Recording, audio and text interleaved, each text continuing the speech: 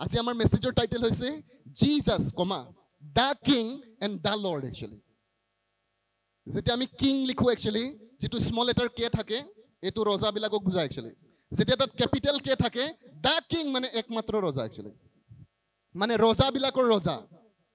Lord যেতিয়া আপুনি L লিখে একচুৱেলি কেপিটেল এল ই বুজায় যে একমাত্ৰ মালিক। লেণ্ড লৰ্ডৰ আমাৰ কনচেপ্ট আছে একচুৱেলি তাত এলটো স্মল লেটাৰ থাকে। মানে পৃথিৱীটো মাটিৰ মালিক আছে একচুৱেলি কিন্তু এজন একমাত্ৰ মালিক আছে। আৰু আজি আমি তাৰ বিষয়ে আলোচনা কৰিম। আৰু এই কনচেপ্টটো যদি কেনেবাকৈ খ্ৰীষ্টিয়ানৰ মাইণ্ডত ফৰ্ম নহয় তেতিয়াহ'লে আপুনি কিংডমত জীয়াই থাকিব নোৱাৰিব actually you are not a kingdom citizen ৰাজতন্ত্ৰ আৰু গণতন্ত্ৰ। Hallelujah praise the lord Amen. আমি যেতিয়া ঈশ্বৰৰ ৰাইজৰ যি কিংডম তাক যদি আপুনি বুজি নাপায় কিন্তু আপুনি ফেইথ বুজি পায়। আপুনি প্ৰস্পেৰিটি বুজি পায়। প্ৰেয়াৰ বুজি পায় আপুনি। এনইণ্টিং বুজি পায় আপুনি। মিনিষ্ট্ৰি বুজি পায় কিন্তু আপুনি কিংডম বুজি নাপায়। তেতিয়াহ'লে যিটো পাৱাৰ আপুনি তাৰ পৰা ৰিচিভ কৰিব এইটো বাক্য ব্যৱহাৰ কৰি পেলাই এইটো ৰাইজৰ আপুনি পাৱাৰটোহে লৈছে। আপুনি ডেষ্ট্ৰাকটিভ মানুহ হ'ব একচুৱেলি কনষ্ট্ৰাকটিভ হোৱাতকৈ আপুনি ডেষ্ট্ৰয় বেছি কৰিব মানুহক একচুৱেলি জাষ্ট বিকজ কাৰোবাক মই প্ৰাৰ্থনা কৰি হিলিং কৰিলোঁ ইয়াৰ অৰ্থ নহয় তেওঁ স্বৰ্গ যাব একচুৱেলি আপুনি মৃত্যুৰ পৰা উঠিও নৰক যাব পাৰে। আৰু সেইকাৰণে miracle is not the greatest thing in this kingdom miracle আমাৰ ৰাইজত আটাইতকৈ ডাঙৰ বস্তু নহয় একচুৱেলি কিন্তু আজিৰ খ্ৰীষ্টিয়ানিটিত আটাইতকৈ ডাঙৰ বস্তুটো হৈছে মিৰাকল কোনে আনিছে এইটো কনচেপ্ট আমাৰ লিডাৰ্ছবিলাকে আমাৰ মিনিষ্টাৰবিলাকে একচুৱেলি আমি আমাৰ মিনিষ্ট্ৰী আমি বনাব বিচাৰিছোঁ একচুৱেলি আমি ঈশ্বৰৰ ৰাজ্য বাদ দি পেলাই নিজৰ কিংডম বনোৱাত লাগি আছোঁ একচুৱেলি আমাৰ ওচৰৰে মানুহ কিলে আহিব? ঈশ্বৰে আনিছে আপোনাক। এটা এনইণ্টিং দিছে সুস্থকাৰী প্ৰফেটিক হিলিং হোৱাট এবাৰ বাট আপুনি ইউজ কৰিছে তেওঁলোকক আৰু আপুনি তেওঁলোকক স্বৰ্গ যোৱাত আপুনি বেছি মাইণ্ড কৰা নাই।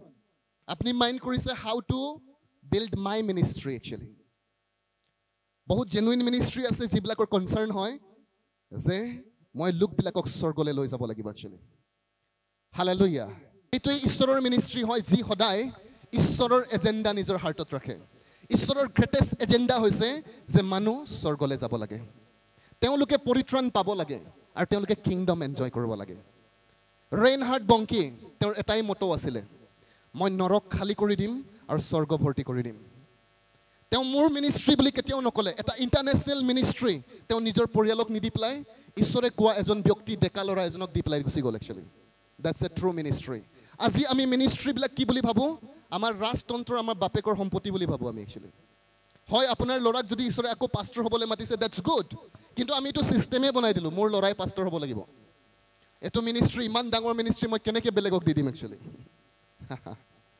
that's not the kingdom of God এইটো ঈশ্বৰৰ মিনিষ্ট্ৰি নহয় একচুৱেলি আৰু সেই বুলি আমি মিনিষ্ট্ৰিবিলাকক আমি একচুৱেলি ক্ৰিটিচাইজ কৰিছোঁ it's not that with love and respect আজি মই আপোনাৰ কনচাৰ্ণত আনিছোঁ একচুৱেলি যে হোৱাট শুড উই ডু আমি কি কৰিব লাগিব actually amen praise the lord যেতিয়া আপুনি আৰু মই কিংডম অফ গড বুজি নাপাম আপুনি ঈশ্বৰৰ বাক্য ৰাইটলি আপুনি ইণ্টাৰপ্ৰেট কৰিব নোৱাৰিব একচুৱেলি আপুনি বুজিও নাপাব আৰু এপ্লাইও কৰিব নোৱাৰিব।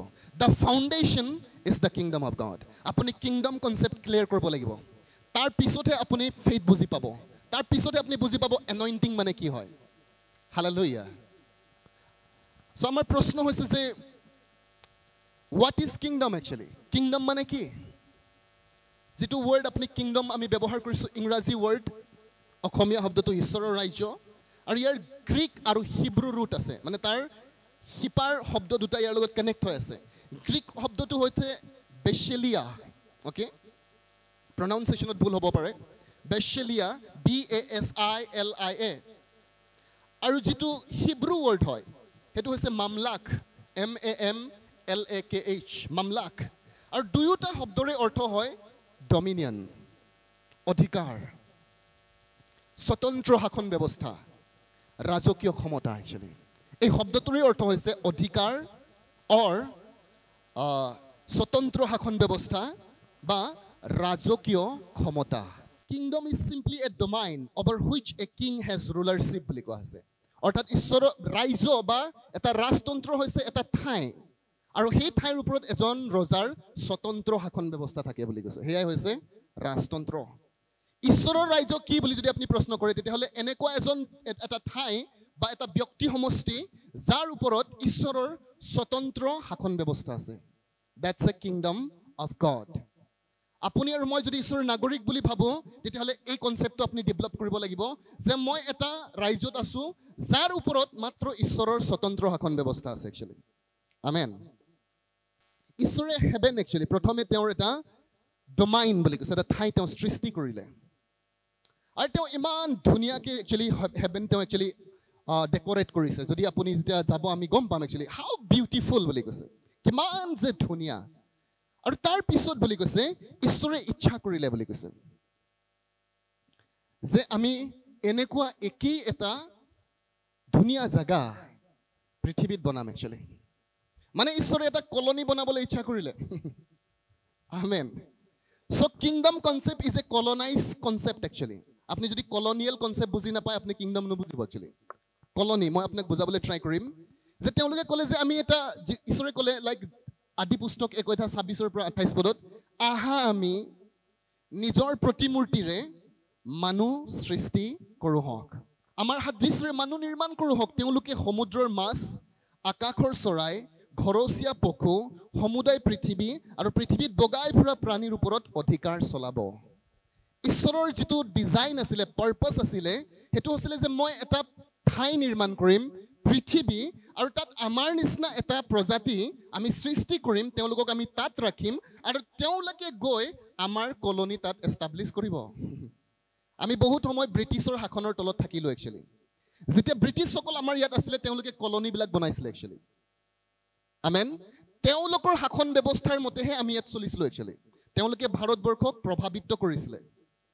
আজি যে আমাৰ এই নিয়মবিলাক থাকি গ'ল দহ বজাত অফিচ যাব লাগে চাৰি বজাত ওলাই আহিব লাগে এইবিলাক লাইক ব্ৰিটিছ কালচাৰ হয়। তেওঁবিলাকেহে আমাক দি থৈ গৈছে একচুৱেলি তো আজিও তাৰ প্ৰভাৱ আছে আমি একচুৱেলি আমি গণ লাইক পৰাধীন হৈ থকাৰ পৰা আমাৰ এটা কনচেপ্ট হৈ গ'ল আমি নোৱাৰিম নেকি? কাৰণ সকলো সময়ত আমাক ডমিনেট কৰা হ'ল। এই নেচাৰটো ক'ৰ পৰা ডেভেলপ হৈছে? সেই কলনাইজ মানুহবিলাকে আমাক দিছে একচুৱেলি আৰু সেইকাৰণে আমাৰ আজিও ক'তবা নহয় ক'তবা এনেকুৱা এটা ভাৱ থাকে যে মই নোৱাৰিম নেকি হয়নে? কিন্তু ব্ৰিটিছ মানুহৰ ওচৰত আপুনি এইটো নেচাৰ নাপায় একচুৱেলি তেওঁলোকে কেতিয়াও নাভাতে মই নোৱাৰিম বুলি। আমি কিয় এনেকুৱা হৈ গ'লোঁ কাৰণ আমি তেওঁলোকৰ আণ্ডাৰত থাকিলোঁ একচুৱেলি কলনী মানে বা কলনাইজেশ্যন মানে কি যদি আপুনি প্ৰশ্ন কৰে এক বিদেশী ব্যক্তি সমষ্টি বা এটা দল মানুহৰ দল যি বিদেশৰ পৰা আহি এটা বেলেগ দেশত বুলি কৈছে তেওঁলোকে স্থায়ীভাৱে বসবাস কৰিবলৈ লয় আৰু তেওঁলোকে নিজৰ দেশৰ কালচাৰ ভেলু তাত প্ৰভাৱ বিস্তাৰ কৰে একচুৱেলি দেটছ এ কলনাইজেশ্যন তেওঁলোকে ইংলেণ্ডৰ পৰা আহি ভাৰতবৰ্ষত তেওঁলোকৰ নীতি নিয়ম কানুন ব্যৱস্থা তেওঁলোকে স্থাপন কৰি দিলে। দেটছ ইট একচুৱেলি আৰু ঈশ্বৰে পৃথিৱী এইকাৰণেহে সৃষ্টি কৰিছিলে। যে মোৰ মানুহবিলাক পৃথিৱীত গৈ স্বৰ্গৰ যিটো শাসন ব্যৱস্থা পৃথিৱীত তেওঁলোকে বনাব একচুৱেলি স্বৰ্গৰ নিচিনা হেভেন অন আৰ্থ বুলি কৈছে। পৃথিৱীত স্বৰ্গ। আৰু এইটো কলনীত বুলি কৈছে আমি আমাৰ ৰজাৰ যিখিনি প্ৰিন্সিপল যিখিনি কানুন যিখিনি ব্যৱস্থা আমি তাক স্থাপন কৰিব আহিছোঁ আৰু সেইকাৰণে এইখন ৰাজ্যত বুলি কৈছে আমাৰ নিজৰ বোলা একো বস্তুৱেই নাই। কিন্তু আমাৰ সকলো বস্তুৰ প্ৰতি আমাৰ অধিকাৰ আছে। নিজৰ আমাৰ একো নাই কিন্তু সকলো বস্তুৰ প্ৰতি আমাৰ অধিকাৰ আছে। যেতিয়ালৈকে আমি ঈশ্বৰৰ কিংডমৰ প্ৰিন্সিপল মতে জীয়াই থাকিম। আমেন আদামক ঈশ্বৰে সৃষ্টি কৰিলে মানুহ হিচাপে ৰাখিলে আৰু আদাম ঈশ্বৰৰ অবাধ্য হ'ল একচুৱেলি কিংডম ৰুল তেওঁ ব্ৰেক কৰিলে আৰু তেওঁৰ যিটো অধিকাৰ আছিলে তাৰ শহুৰক বেছি দিলে। চেতান তাৰ শহুৰ হয়নে? আৰু যাৰ কাৰণে বুলি কৈছে আমি যে এই জীৱনত গোটেই কষ্টবিলাক পাবলগীয়া হ'ল। আমি বহুত সময়ত হাৱাকে দুখ দি আছোঁ কিন্তু বাইবেলে স্পষ্টকৈ কৈছে হাৱা ঠগ খালে বুলি কৈছে আদামে পাপ কৰিলে বুলি কৈছে। কাৰণ আদেশটো ঈশ্বৰে আদামকহে দিছিলে। নাখাবা বুলি। আমি সদায় কৈছোঁ হাৱা যদি জন্ম নহ'লহেঁতেন হয়নে? আটাইতকৈ মূল কালপ্ৰিতটো আদাম হয় একচুৱেলি কাৰণ তেওঁহে জানিছিলে যে মই খাব নালাগে হয়নে? কিন্তু তেওঁ অবাধ্য হ'ল একচুৱেলি মহিলাসকল কম্প্ৰাইজ দ্য লৰ্ড এইমেন আদামে যদি শুনিছে খুব ভাল লগা নাই। হ'লেও উপায় নাই তেওঁ কৈছে কিমান যে গালি খাইছে তেওঁ পৃথিৱীৰ মানুহবিলাকৰ পৰা। হ'লেও তেওঁ আজি ধৈৰ্য ধৰি আছে আৰু। এইমেন অ'কে তো যেতিয়া বুলি কৈছে এইটো কিংডম আমি লষ্ট কৰিলোঁ অৰ্থাৎ যেতিয়া আমি আদামে যিটো লষ্ট কৰিলে তো তেওঁ একচুৱেলি কিংডম লষ্ট কৰিলে নাথিং এলছ তেওঁ একো লছ কৰা নাই মাত্ৰ কিংডম লছ কৰিছে। আৰু যীশুখ্ৰীষ্ট আহিলে ৰেষ্টৰ কৰিবৰ কাৰণে। কি ৰেষ্টৰেশ্যন কৰিবৰ কাৰণে? কিংডম তেওঁ ঈশ্বৰৰ ৰাজ্য উদ্ধাৰ কৰিবলৈহে আহিছিলে একচুৱেলি ওৱান্স এগেইন পুনৰবাৰ। আৰু সেইকাৰণে তেওঁ একদম ক্লিয়াৰ এজেণ্ডা লৈ পেলাই আহিছিলে স্বৰ্গৰ পৰা। তাক ট্ৰেইনিং দি পঠাইছে হয়নে পিতৃ ঈশ্বৰে? এটাই কাম কৰিবি গৈ পেলাই। কাৰণ তাত আহি পেলাই তেওঁ কৈছে মই যি কৰোঁ সকলো পিতৃৰ মতে কৰোঁ। মই যি যি দেখোঁ এইটোহে কৰোঁ বুলি কৈছে। আৰু ঈশ্বৰৰ ইচ্ছা পালন কৰা কৰাটোৱে মোৰ আহাৰ হয় বুলি কৈছে। এই মেন ইমান ভাল কথা কৈছে যীশুৱে। মই কৈছোঁ প্ৰভু অলপমান আমাকো এনেকুৱা হ'বলৈ দিবাচোন যে তোমাৰ ইচ্ছা পালন কৰাটোৱে মোৰ আহাৰ হয় বুলি কৈছে। ই মোক সন্তুষ্ট কৰে বুলি কৈছে। হালে লৈয়া অ'কে আৰু যীশু সেইকাৰণে beginning of the time and ending of the টাইমলৈকে তেওঁ মাত্ৰ কিংডম প্ৰচাৰ কৰিলে actually kingdom of God and kingdom of heaven so' kingdom এটা গভৰ্ণমেণ্ট ছিষ্টেম হয় গভৰ্ণমেণ্টৰ কাম কি তেওঁলোকৰ সমাজত শান্তি ন্যায় শৃংখলাবদ্ধতা প্ৰতিষ্ঠা কৰা যাতে সকলো নাগৰিকে শান্তিৰে জীয়াই থাকিব পাৰে এইটো গভৰ্ণমেণ্ট ছিষ্টেমৰ উদ্দেশ্য হয় একচুৱেলি আৰু এই গভৰ্ণমেণ্টৰ হাতত কি থাকে যদি আপুনি প্ৰশ্ন কৰে দুটা বস্তু থাকে একচুৱেলি বহুত আছে কিন্তু দুটা হৈছে এটা হৈছে অথৰিটি এটা হৈছে পাৱাৰ একচুৱেলি অথৰিটি সদায় ৰেচপনচিবিলিটিৰ লগত যায় আৰু পাৱাৰ সদায় এবিলিটিৰ লগত যায় একচুৱেলি আৰু সেইকাৰণে যদি আপুনি ঈশ্বৰৰ ৰাজ্যত বা যিকোনো ৰাজ্যত অধিকাৰ সাব্যস্ত কৰিব বিচাৰে আপুনি দায়িত্ব বুজি পাব লাগিব। দায়িত্বহীন মানুহে কেতিয়াও অধিকাৰ পাব নোৱাৰে actually amen praise the lord please remember this আপোনাৰ পৰিয়ালতেই হওক আপোনাৰ কোম্পেনীতেই হওক আপোনাৰ ঈশ্বৰৰ ৰাজ্যতে হওক এজন দায়িত্বহীন মানুহ কেতিয়াও অধিকাৰী হ'ব নোৱাৰে একচুৱেলি অধিকাৰী ব্যক্তি সদায় দায়িত্বশীল মানুহ হয় একচুৱেলি তেওঁলোকে দায়িত্ব জানে একচুৱেলি প্ৰাইজ দ্য লৰ্ড আৰু তেওঁলোকেহে বুলি কৈছে পাৱাৰ বুলি কৈছে এবিলিটি তেওঁলোকে ইউজ কৰিব পাৰে। Without authority power is very dangerous বুলি কোৱা হৈছে। That means authority legitimize the power বুলি কৈছে। অৰ্থাৎ অধিকাৰীসকলেহে পাৱাৰক লিগেল কৰে একচুৱেলি আৰু যদি তাত অথৰিটি নাথাকে তেতিয়াহ'লে আমিও কি হৈ যাম বুলি কৈছে? লাইক চেষ্টা তাত স্বেচ্ছাচাৰীৰ শাসক হৈ যাম একচুৱেলি ডিক্টেটৰশ্বিপ হৈ যাম আমি। যেনেকৈ হিটলাৰৰ কথা মনত পৰে হয়নে? স্বেচ্ছাচাৰী শাসক আপুনি হৈ যোৱাৰ চান্স আছে। কিন্তু কিংডম অফ গডত আমাৰ এজন ৰজা আছে একচুৱেলি তাৰ তালত আমি অপাৰেট হওঁ। যেতিয়া কোনোবা ঈশ্বৰৰ ডাক আৰু কোনোবা মিনিষ্ট্ৰী যেতিয়া ৰজাক পাহৰি যায় তেওঁ স্বেচ্ছাচাৰী হৈ যায় একচুৱেলি তেওঁ নিজৰ ইচ্ছামতে মণ্ডলী স্থাপন কৰে মণ্ডলী চলায় মানে মিনিষ্ট্ৰী বনায় আৰু এদিন কোপ খাব ৰজাৰ পৰা একচুৱেলি অ'কে আৰু সেইকাৰণে মৰমেৰে আৰু সন্মানেৰে ইনক্লুডিং মাই চেল্ফ ঈশ্বৰৰ ডাকসকলক আহ্বান কৰিছোঁ।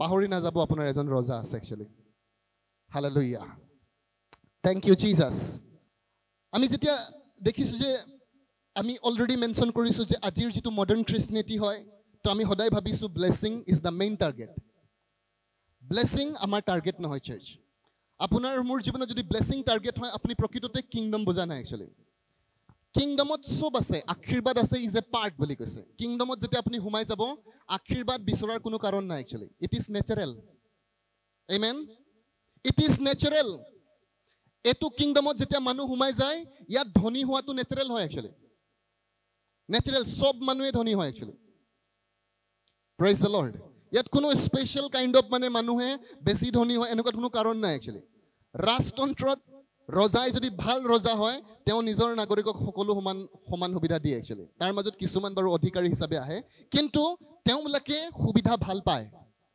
আমেন আমাৰ ৰাজ্যত একচুৱেলি উন্নতি সুস্থতা আশীৰ্বাদ এইবিলাক জাষ্ট অট'মেটিক হয় একচুৱেলি সকলোৱে ক'ম অট'মেটিক খালি এটা ছিষ্টেম ফ'ল' কৰিব লাগে। যেনেকৈ আমাৰ ল'ৰা ছোৱালীবিলাক নেচাৰেলি ডাঙৰ হয় যদি আপুনি সদায় প্ৰাৰ্থনা কৰি থাকে হে প্ৰভু মোৰ ল'ৰা ছোৱালীক বৰ ডাঙৰ মানুহ বনাবা লাইক একচুৱেলি ব্ৰেইন ভাল বনাবা কিন্তু কেতিয়াও নোখোৱাই তাক হয়নে? আপুনি যিমান প্ৰাৰ্থনা ফাষ্টিং কৰিব সি সিমান শুকাই যাব একচুৱেলি আপুনি কিংডমত আহি পেলাই খ্ৰীষ্টান হে প্ৰভু মোক ধনী বনাই দিবা এনইণ্টেড বনাই দিয়া কিন্তু ছিষ্টেম ফ'ল' কৰা নাই। যিমানেই প্ৰাৰ্থনা কৰিব ইমানেই দুখীয়া হ'ব আপুনি। ৰাজতন্ত্ৰত ইয়াত বুলি কৈছে ঈশ্বৰৰ ৰাইজত মানুহ দি পেলাই ধনী হয়। পৃথিৱীত জমা কৰি পেলাই ধনী হয়। ৰাইজ দ্য লৰ্ড চব উল্টা। ঈশ্বৰৰ ৰাজ্যত যেতিয়া আপুনি আহিব পৃথিৱীত কয় শত্ৰুক মাৰিবা ঈশ্বৰে কয় প্ৰেম কৰিবা যিজনে তোমাৰ পৰা লৈ যাব বিচাৰে আৰু দি দিবা বুলি কৈছে ঈশ্বৰে। এক কিলোমিটাৰ যাবলৈ দিলে দুই কিলোমিটাৰ গুচি যাবা বুলি কৈছে। এই মেন মাইলছ বুলি লিখা আছে তাত কিলোমিটাৰ নহয় মাইলছটো অলপমান বেছি হয় হয়নে? এমাইল যদি তোমাক যাবলৈ কয় দুই মাইল যাবা। মানে তাৰমানে কৈছে তোমালোকে এক্সট্ৰা মাইল যোৱা মানুহ হ'বা। তোমাৰ লগৰবিলাকে তিনি ঘণ্টা পঢ়ে তুমি চাৰি ঘণ্টা পঢ়িবা। খ্ৰীষ্টিয়ান ষ্টুডেণ্টৰ এইটো কনচেপ্ট হয় একচুৱেলি যে তেওঁলোকে যিমান কৰে তাতকৈ আমি বেছি কৰোঁ। আমি কি কৰোঁ খ্ৰীষ্টিয়ান ষ্টুডেণ্টবিলাকে প্ৰাৰ্থনা বেছি কৰে কম পঢ়ে। প্ৰাৰ্থনা বাৰু সেনেকুৱা টাইপৰ প্ৰাৰ্থনা কৰিলে ভালে আছিলে খালি পৰীক্ষা সময়ত প্ৰাৰ্থনা কৰে। আপোনাক সহায় নকৰে। প্ৰাইজ লৰ্ড হালেলুয়া ধনী হ'বলৈ প্ৰাৰ্থনা কৰে কিন্তু তাৰ ছিষ্টেম ফ'ল' নকৰে। কাৰণ এইখন ৰাজ্যত এলেহুৱা মানুহ নাথাকে। ঈশ্বৰৰ ৰাজ্যত কোনো এলেহুৱা মানুহ নাথাকে। যদি আপুনি এলেহুৱা হয় আপুনি ঈশ্বৰৰ ৰাজ্যৰ মানুহ নহয়। কাৰণ ঈশ্বৰৰ ৰাজ্যত মানুহক ঈশ্বৰে প্ৰডিউচ নকৰে ডাল মানুহ বুলি কৈছে। মানে ফুলিচ মানুহ ঈশ্বৰে সৃষ্টি নকৰে। আপুনি যদি কিংডমত আছে আপুনি স্মাৰ্ট মানুহ হয় একচুৱেলি প্ৰাইজ গড হালেলুয়া অকল এডুকেটেড মানুহ স্মাৰ্ট এনেকুৱা নহয় কথা। স্মাৰ্টনেছৰ কণ্ডিশ্যনটো হৈছে নলেজ আৰু নলেজ মাত্ৰ স্কুলত বা কলেজত বা বিশ্ববিদ্যালয়ত পোৱা যায় এনেকুৱা কোনো কাৰণ নাই। নলেজ বিচাৰিলে পোৱা যায়। যিকোনো মানুহ স্মাৰ্ট হ'ব পাৰে। ইণ্টেলিজেণ্ট হ'ব পাৰে। Praise lord all the all the time আপুনি কপিল শৰ্মা শ্ব' চাই থাকিব আপুনি কমেডিয়ান হৈ যাব। প্ৰাইজ গড এণ্টাৰটেইনমেণ্ট কৰি থাকিব লাইফ এণ্টাৰটেইনমেণ্ট হৈ যাব অ'কে কালি এটা ষ্টেটমেণ্ট মই চাইছিলোঁ কোনোবা অপূৰ্ব এটা লাইক আপলোড কৰিছিলে okay A P J Abdul কালামৰ তাত তেনেকুৱা কিবা এটা কথা লিখা আছিলে যে আমাৰ পাষ্ট ইজ ৱেষ্ট বুলি কৈছে present is a news paper বুলি মানে আমাৰ অতীতটো ৱেষ্ট পেপাৰ বুলি কৈছে। ৱেষ্ট পেপাৰ মানে আপুনি জানে টিচু এইটো পেপাৰ যে আপুনি যিটো ব্যৱহাৰ কৰে টয়লেট যাবৰ কাৰণে? আমাৰ যিটো অতীত হৈ গ'ল পাৰ হৈ গ'ল এইটো টয়লেট পেপাৰ বুলি কৈছে। ৱেষ্ট পেপাৰ আমাৰ প্ৰেজেণ্ট আজি যিটো বৰ্তমান সময় হয় ইজ এ নিউজ পেপাৰ বুলি কৈছে amen future is a question paper বুলি কৈছে so' read and write carefully বুলি কৈছে otherwise year life will be a tissue paper বুলি কৈছে যে আমাৰ ভৱিষ্যতটো হৈছে কুৱেশ্যন পেপাৰ প্ৰশ্ন কাকত সেইকাৰণে ভালকে পঢ়িবা আৰু ভালকে লিখিবা নহ'লে তোমাৰ জীৱন টিচু পেপাৰ হৈ যাব very powerful statement actually hallelujah মই লগে লগে কেপচাৰ কৰিছিলোঁ এইটো। মোৰ গেলাৰীত সোমাই ৰাখিছোঁ একচুৱেলি আৰু মই ঈশ্বৰক কৈছোঁ লৰ্ড কেতিয়াও পাহৰিবলৈ নিদিবা।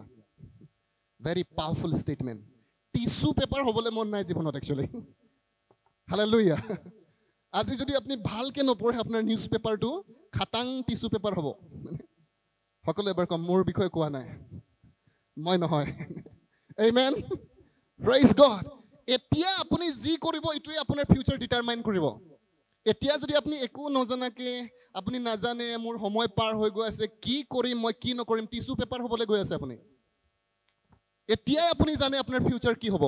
কাৰণ খেতিয়কে জানে এতিয়া কঠীয়া সিঁচি থাকোঁতে ৰুই থাকোঁতে এদিন ধান পাম একচুৱেলি আপুনি আজি যি কাম কৰি আছে ইটো নিৰ্ণয় কৰিব যে আপোনাৰ ফিউচাৰ কেনেকুৱা হ'ব একচুৱেলি প্ৰাইজ দ্য লৰ্ড আজি আপুনি বিজনেছ বিল্ড আপ কৰিবলৈ বিচাৰি আছে। আমি বহুত সময় কি কৰিম আমাৰতো একোৱে নাই অ'কে প্ৰাইজ গড আমাৰ ওচৰত মাটি আছে চাৰ্চ কি কৰে আপুনি আৰু মই? আমি অকল এটা খেতি বৰষুণ দিলে কৰোঁ। আৰু বৰষুণ দিলেহে কৰিম। নিদিলে নাই। এনেই পৰি থাকে হ'লেও আমি জলকীয়া কিনি খাম হয়নে? প্ৰাইজ দ্য লৰ্ড তো মই কেতিয়া ভাবি মই এইবিলাক ভাবি পেলাই ভাবিছোঁ যে আমাৰ মানুহে মাটি বাৰী থাকি এটলিষ্ট একডৰা দুইডৰা চবৰে মাটি আছে। আমি ঘৰত এনেই থাকোঁ। বিশেষকৈ মহিলা হওক পুৰুষ হওক যিবিলাকে কাম নকৰে সি বেলেগৰ কথা পাতি থাকে এনেই বহি পেলাই। কাৰোবাৰ ঘৰ যাব হয়নে? কোনে কি পিন্ধিছে কালি কি প্ৰগ্ৰেম চালা আজি মোৰ কি কৰিব লাগিব এইবিলাক কথা পাতি থাকে কিন্তু কেতিয়াও অলপ যদি কোৰ মাৰি পেলাই এটা পুলি লগাই দিলেহেঁতেন জলকীয়া আহিলেহেঁতেন। এদিন এদিন জলকীয়াৰ কাৰণে কাজিয়া লাগিছে ঘৰত। গিৰেক আহিছে কৈছে তই নাজানো নেকি জলকীয়া নাই হয়নে? আৰু জলকীয়া ইমান ডাঙৰ ইছ্যু হৈ গ'ল গোটেই হুলস্থুল হৈ গ'ল হয়নে?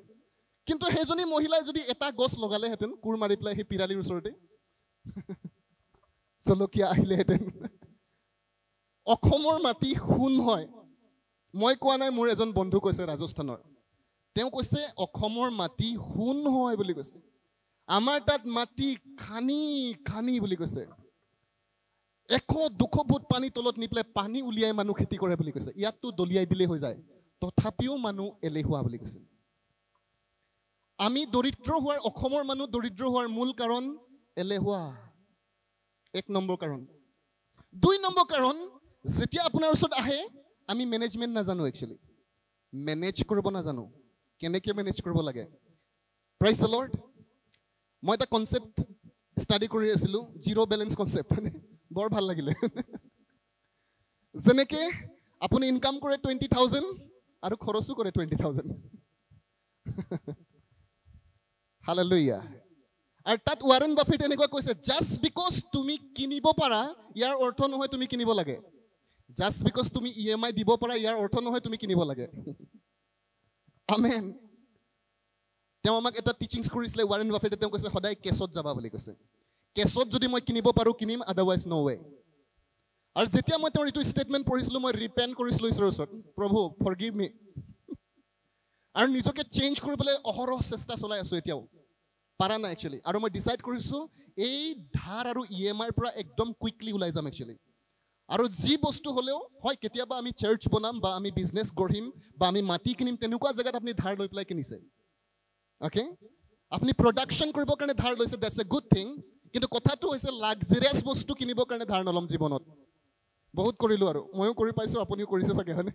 কিন্তু ঈশ্বৰৰ ওচৰত কৈছোঁ লৰ্ড মোক সহায় কৰিবা। একদম প্ৰভু এইটো নকৰিম। কাৰণ এইটো দুখীয়া হোৱা মেণ্টেলিটি হয় বুলি কৈছে। প্ৰাইজ লৰ্ড দুখীয়া মেণ্টেলিটি মানে আপুনি ভাবিব নালাগে মোৰ একাউণ্টতো বহুত পইচা আছে এইটো দুখীয়াৰ কথা কোৱা নাই তেওঁ একচুৱেলি ছাষ্টেইনেবল ৱেল্থ বুলি কৈছে। বাইবেলে কৈছে যে যিবিলাক ব্যক্তি ৱাইজ হয় বুলি কৈছে তেওঁলোকে নিজৰ বংশৰ কাৰণে উত্তৰাধিকাৰী হিচাপে সম্পত্তি এৰি থৈ যায় বুলি কৈছে। জ্ঞানী মানুহ। প্ৰাইজ লৰ্ড আৰু আমাক শিক্ষা দি থাকে খ্ৰীষ্টিয়ানবিলাকে যে কি পৃথিৱীৰ সম্পত্তি গোটাবা হয়নে? কেলে লাগে স্বৰ্গ গৈয়ে আছা হয়নে? কিন্তু বাইবেলে কৈছে জ্ঞানী মানুহে নিজৰ উত্তৰাধিকাৰী হিচাপে সম্পত্তি গোটাই থৈ যায় বুলি কৈছে। হালালুয়া এমেন আৰু সেইকাৰণে চাৰ্চ ডিচিভ নহ'ব অল কাইণ্ডছ অফ টিচিংছৰ পৰা। ৰিড দ্য বাইবেল আমি বাইবেল নিজে পঢ়িম আৰু ক'ম বুলি কৈছে যে অ' ঈশ্বৰৰ ৰাজ্য একচুৱেলি কিংডম ৱেল্থ আছে একচুৱেলি ৰাজকীয় সম্পত্তি আছে তাত একচুৱেলি আপুনি আৰু মই পাব পাৰোঁ। Amen hallelujah praise the lord thank you Jesus hallelujah তো আমি বুলি কৈছে এইটো কিংডম যেতিয়া বুজিবৰ কাৰণে আমাক ঈশ্বৰে নিজে কৈছে সজায়া ফ'ৰ ছিক্সত কৈছে যে মোৰ মানুহবিলাক নষ্ট হৈ গৈ আছে জ্ঞানৰ অভাৱত। কিহৰ অভাৱত? জ্ঞানৰ অভাৱত। ঈশ্বৰেতো কোৱা নাই পইচাৰ অভাৱত। পইচা থাকিও আপুনি দুখীয়া হ'ব পাৰে একচুৱেলি কিন্তু ইয়াত কৈছে জ্ঞানৰ অভাৱত তেওঁলোকে নষ্ট হৈ গৈ আছে। হালেলুয়া উপদেশকত যদি আপুনি পঢ়ে তাত লিখিছে যে চহৰলৈ যোৱা এটা ৰাস্তা আছে কিন্তু তেওঁলোকে গৈ নাপায় কাৰণ তেওঁলোকে নাজানে বুলি কৈছে। মই তাৰ সাৰাংশটোহে কৈছোঁ একজেক্টলি তেনেকৈ লিখা নাই। কিন্তু তাৰ অৰ্থটো হৈছে যে চহৰত যোৱা এটা ৰাস্তা আছে কিন্তু তেওঁলোকে নাজানে আৰু সেইকাৰণে তেওঁলোকে চহৰ গৈ নাপায়। তো তাৰ পৰা মই ট্ৰান্সলেশ্যন এনেকৈ কৰিছোঁ ধনী হোৱা এটা ৰাস্তা আছে। আপুনি আৰু মই নাজানো কাৰণে গৈ পোৱা নাই। জীৱনত সফল হোৱাৰ এটা ৰাস্তা আছে। আপুনি আৰু মই নাজানা কাৰণে তাত গৈ পোৱা নাই actually praise the lord so' জানিবলৈ ইচ্ছা কৰিব লাগিব চাৰ্চ আপুনি আৰু মই জানিবলৈ ইচ্ছা কৰিব লাগিব। কিমান হাবিয়াস কৰে আপুনি জানিবলৈ? তাৰ ওপৰত নিৰ্ণয় কৰিব আপুনি কিমান জ্ঞান পাব। The quality of your knowledge will determine the quality of your life বুলি কৈছে। যিটো নলেজ আছে আপোনাৰ ওচৰত এইটো যদি কোৱালিটি আছে তেতিয়াহ'লে আপোনাৰ জীৱনত কোৱালিটি আহি যাব actually this is we will try আমি ট্ৰাই কৰিম যাতে আমাৰ জীৱনৰ নলেজবোৰ আমি কোৱালিটি আনিব পাৰোঁ একচুৱেলি যেতিয়া আপোনাৰ নলেজ কোৱালিটিত আছে আপোনাৰ থিংকিং কোৱালিটিত আহিব। আৰু সেইকাৰণে কোৱা আছে যে থিংকিং কোৱালিটি থিংকিং সদায় কোৱালিটি লাইফ প্ৰডিউচ কৰে একচুৱেলি আমেন আপোনাৰ আৰু মোৰ জীৱন দেখি পেলাই মানুহে পঢ়িব পাৰিব যে আপুনি কি চিন্তা কৰে। কাৰণ যদি চিন্তাত কোৱালিটি আছে লাইফত কোৱালিটি আহিব actually amen praise the lord hallelujah তো আমি যেতিয়া কৈছোঁ যে আমি ৰাস্তাটো জনা নাই তো আমি এটলিষ্ট এটা সম্প্ৰদায়ৰ মানুহৰ পৰা মই দেখিছোঁ আৰু শিকিবলৈ বাধ্য হৈছোঁ একচুৱেলি সেই মানুহবিলাকে তেওঁলোকৰ ওচৰত মে বি এডৰামানহে মাটি থাকে। সেই এডৰা মাটিতে এতিয়া এবাৰ জলকীয়া কৰি দিব তাৰপিছতে ভেন্দি কৰি দিব তাৰপিছতে কিবা কৰি কেতিয়াও বছৰটোত এনেই থাকিবলৈ নিদিয়ে। আমি কি কৰোঁ বুলি কৈছে এনেই পৰি থাকিবলৈ দিওঁ। এইটো আমাৰ নেচাৰ হয় একচুৱেলি আৰু তাৰপিছত আমি কমপ্লেইন কৰোঁ আমাৰ ওচৰত নাই। ইভেন এটা ষ্টেটমেণ্ট মই পঢ়িছোঁ বাংলাদেশৰ কাহিনী। তাত একচুৱেলি মানুহৰ মাটি নাই তেওঁলোকে কি কৰিলে? একচুৱেলি পানীৰ ওপৰত কলগছ পেলাই দিলে তাত অলপ মাটি দি পেলাই ৰঙালাও খেতি কৰি দিলে। তো তেওঁবিলাক ধনী নহয় কোন ধনী হ'ব? আপুনি আৰু মই। কেনেকুৱা প্ৰশ্ন বাৰু এইটো? আমি সদায় কৈ থাকোঁ মই ঈশ্বৰৰ সন্তান মই ঈশ্বৰক জানো। কি কৰে আপুনি? হোৱাট ডু ইউ ডু আমি খুব চাকৰিমুখী মানুহ হয় একচুৱেলি চাকৰি নাপালে যেন মৰিয়ে যাম জীৱনত একচুৱেলি আমাক সৰুৰ পৰা ট্ৰেইনিং দিয়া হৈছে। চাকৰি কৰিবা।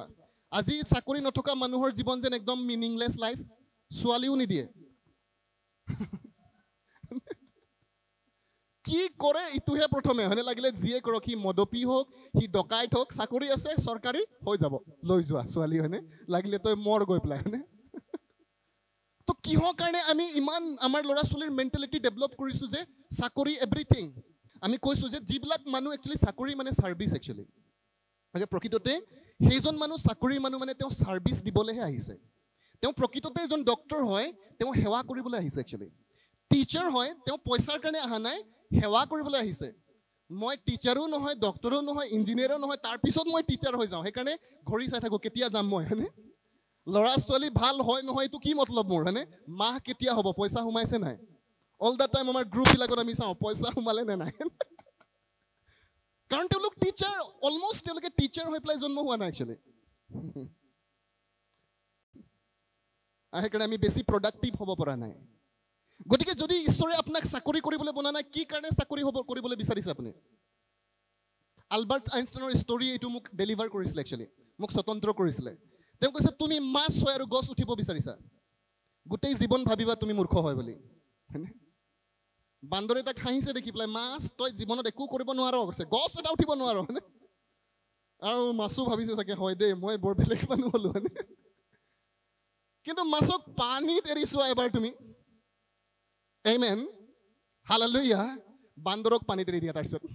সি মৰিব তাত একচুৱেলি এইটোৱে কনচেপ্ট চাৰ্চ যে প্ৰত্যেকজন মানুহ চাকৰিৰ কাৰণে অহা নাই একচুৱেলি সেইকাৰণে আপুনি জানিব যে আপুনি যিটো কাম কৰি আছে যদি তাত আপুনি অল দ্য টাইম সন্তুষ্ট নাপায় আপুনি একচুৱেলি পাৰফৰ্মেঞ্চ দিব নোৱাৰে আপোনাক বাৰে বাৰে লাগি থাকে এইটো যেন বাৰ্ডেন নিচিনা লাগি থাকে আপুনি সেইটো জেগাৰ মানুহ নহয় actually get out of there বুলি কৈছে তাৰ পৰা ওলাই যাওক সোনকালে।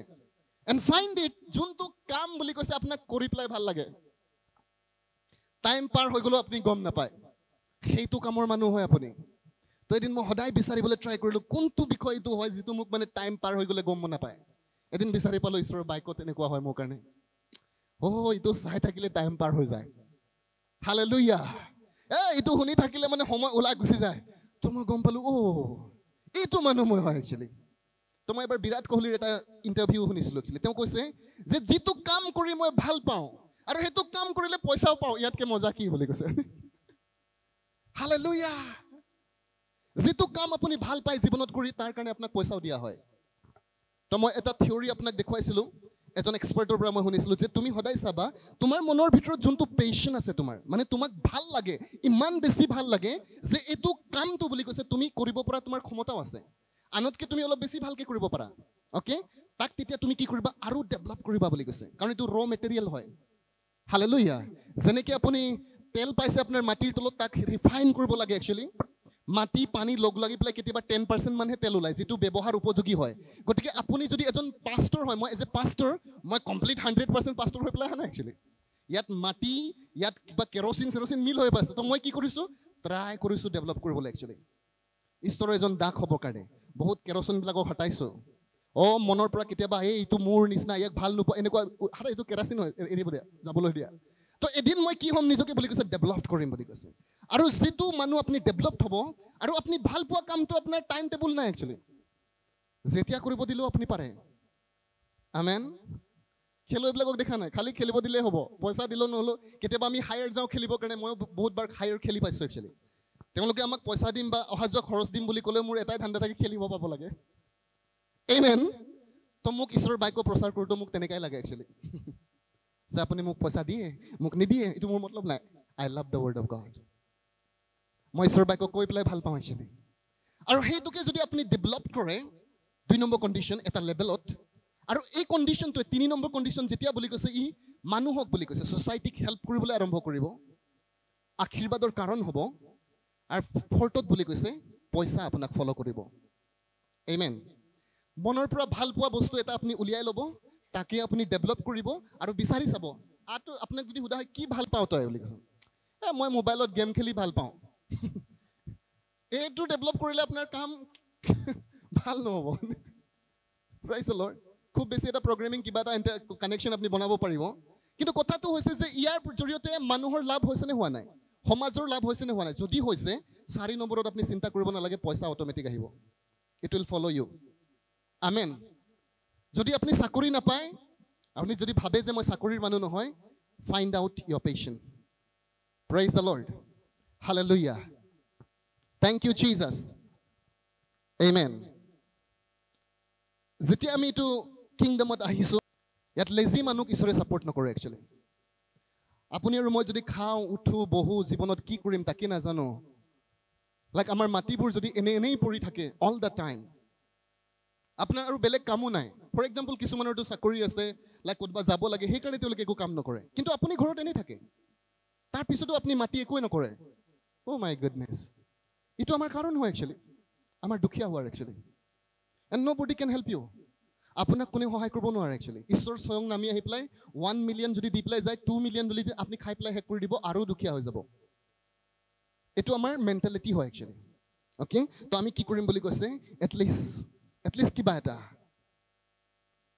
আপোনাৰ নাই তাৰ পৰাই আপুনি মেনেজ কৰিব পাৰে actually you can make it hallelujah আৰু মই যেতিয়া ছাপ'জ উইদিন মোৰ মোৰ টাইমৰ ভিতৰত একচুৱেলি মই যেতিয়া কাম কৰিছোঁ যিটো বিষয়ে মই কিনিছোঁ উইদিন দিছ টাইম অফ পিৰিয়ডত একচুৱেলি তো বাই দিছ ছিষ্টেম একচুৱেলি অকণমান অকণমান if we gather it actually আমি যদি ইয়াক গোটাই দিওঁ ইউ কেন বাই আপুনি চাকৰি নাপালেও আপুনি নিজৰ ইণ্টেলিজেঞ্চ ইউজ কৰি আপুনি বিচৰা গাড়ী আপুনি কিনি ল'ব পাৰে একচুৱেলি আপোনাৰ বাইক আপোনাৰ ঘৰ আপুনি বনাই ল'ব পাৰে একচুৱেলি প্ৰাইজ গড হালেলুয়া তো এইটো কিংডমত আমাৰ কালচাৰ হৈছে ডিলিজেঞ্চ কাম কৰা ব্যক্তি হয় আমি একচুৱেলি মেনেজ কৰা ব্যক্তি হয় কাৰণ আমি মেনেজাৰ হয় একচুৱেলি প্ৰাইজ লৰ্ড মই অকণমান কিবা এটা শিকিছোঁ কিন্তু আমাতকৈ এক্সপাৰ্টবিলাক আছে।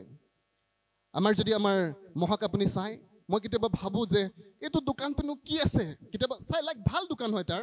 কম্পেৰেটিভলি ডাঙৰে আছে হ'লেও মোক তেওঁ যি যি কাম কৰে তাতকৈ এনেকুৱা দেখিলে মানে এইটো দোকানটো নিমিলে তাৰ লগত হয়নে?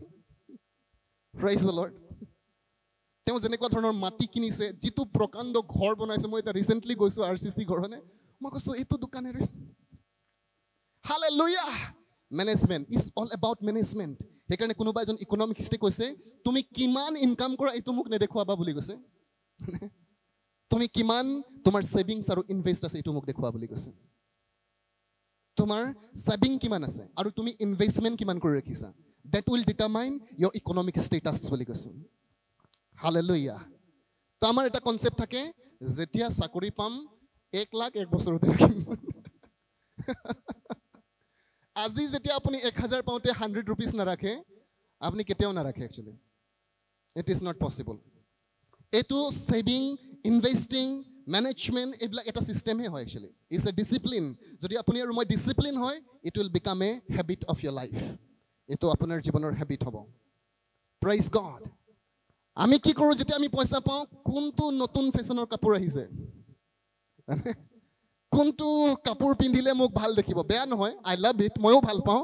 কিন্তু চব খৰচ কৰি অকল ফেশ্বনত লগাই থয় আপুনি মূৰ্খ হয় একচুৱেলি মই আপোনাৰ কথা কোৱা নাই কিন্তু এনেকুৱা কৰা মানুহবিলাকৰ কথা কৈছোঁ। যদি মই কৰোঁ ময়ো মূৰ্খ হয় একচুৱেলি এভৰিথিং খালি ফেশ্বন আৰু খোৱা বোৱাত আমি লগাই দিলে your finance in the future you will cry actually আপুনি আৰু মই কান্দিম বুলি কৈছে হালেলুয়া প্ৰাইজ দ্য লৰ্ড এটা মেছেজ মই পাষ্টৰ ক্ৰিছৰ শুনিছিলোঁ আৰু আপোনাক মই ৰেকমেণ্ড কৰিম শুনিবৰ কাৰণে how to save money actually আৰু তেওঁ কৈছে মই একচুৱেলি এদিন মোৰ অফিচৰ মানুহবিলাকক সুধিলোঁ আমি পইচা কিমান ইনকাম কৰোঁ বুলি কৈছে তেওঁ কৈছে আঠ হাজাৰ বুলি কৈছে কিমান খৰচ কৰোঁ? আঠ হাজাৰেই। ধাৰো লাগি যায় কৈছে নে?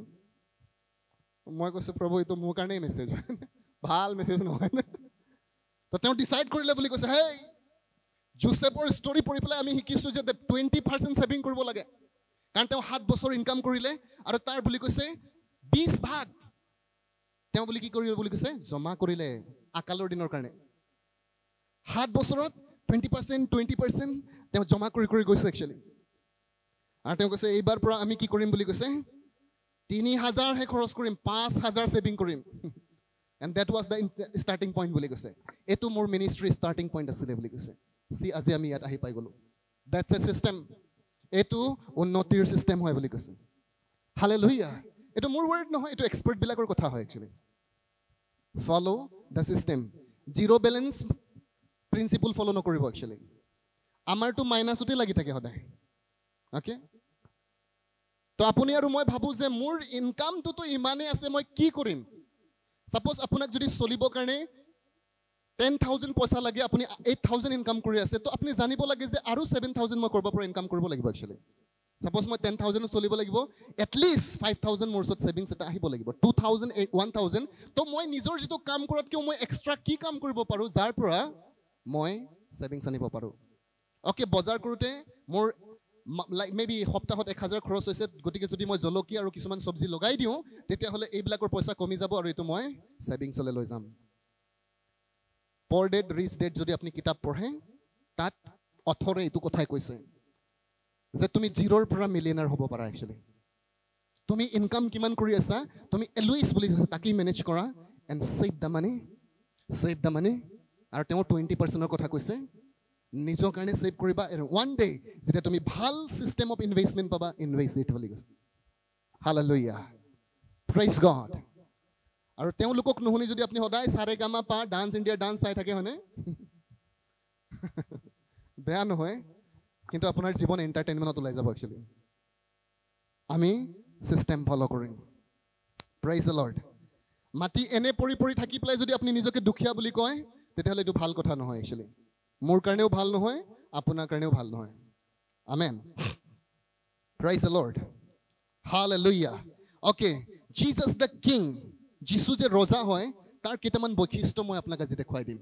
যে আপুনি যীশুক ৰজা হিচাপে দেখা পাব লাগিব। In this kingdom Jesus is the king আৰু যদি আপুনি যীশুক ৰজা হিচাপে নেদেখে আপুনি তেওঁক কেতিয়াও আৰাধনা নকৰিব একচুৱেলি অ'কে আজি বহুত খ্ৰীষ্টিয়ান যীশুক মাত্ৰ ত্ৰাণকৰ্তা হিচাপে গ্ৰহণ কৰিছে। আৰু সেইকাৰণে তাৰ কথাবিলাক তেওঁলোকে অপশ্যনেল বুলি ভাবে। মানে অৰ বুলি ভাবে নাইবা। এইটো নহ'লে সেইটো কৰিবা হয়নে? না না ন যীশু অপশ্যনেল ঈশ্বৰ নহয় actually he is the king আৰু ঈশ্বৰৰ ৰাইজৰ ৰাজতন্ত্ৰত বুলি কৈছে যীশুক ৰজা কোনে বনালে? পিতৃয়ে বনালে। ফিলিপিয়ান টু যেতিয়া আপুনি পঢ়িব তাত লিখিছে যে ঈশ্বৰেহে তেওঁক ৰজা বনাইছে বুলি কৈছে। এই মেন তেতিয়াহ'লে পিতৃ ঈশ্বৰ কোন হয়? কিং মেকাৰ হয় আকৌ সি।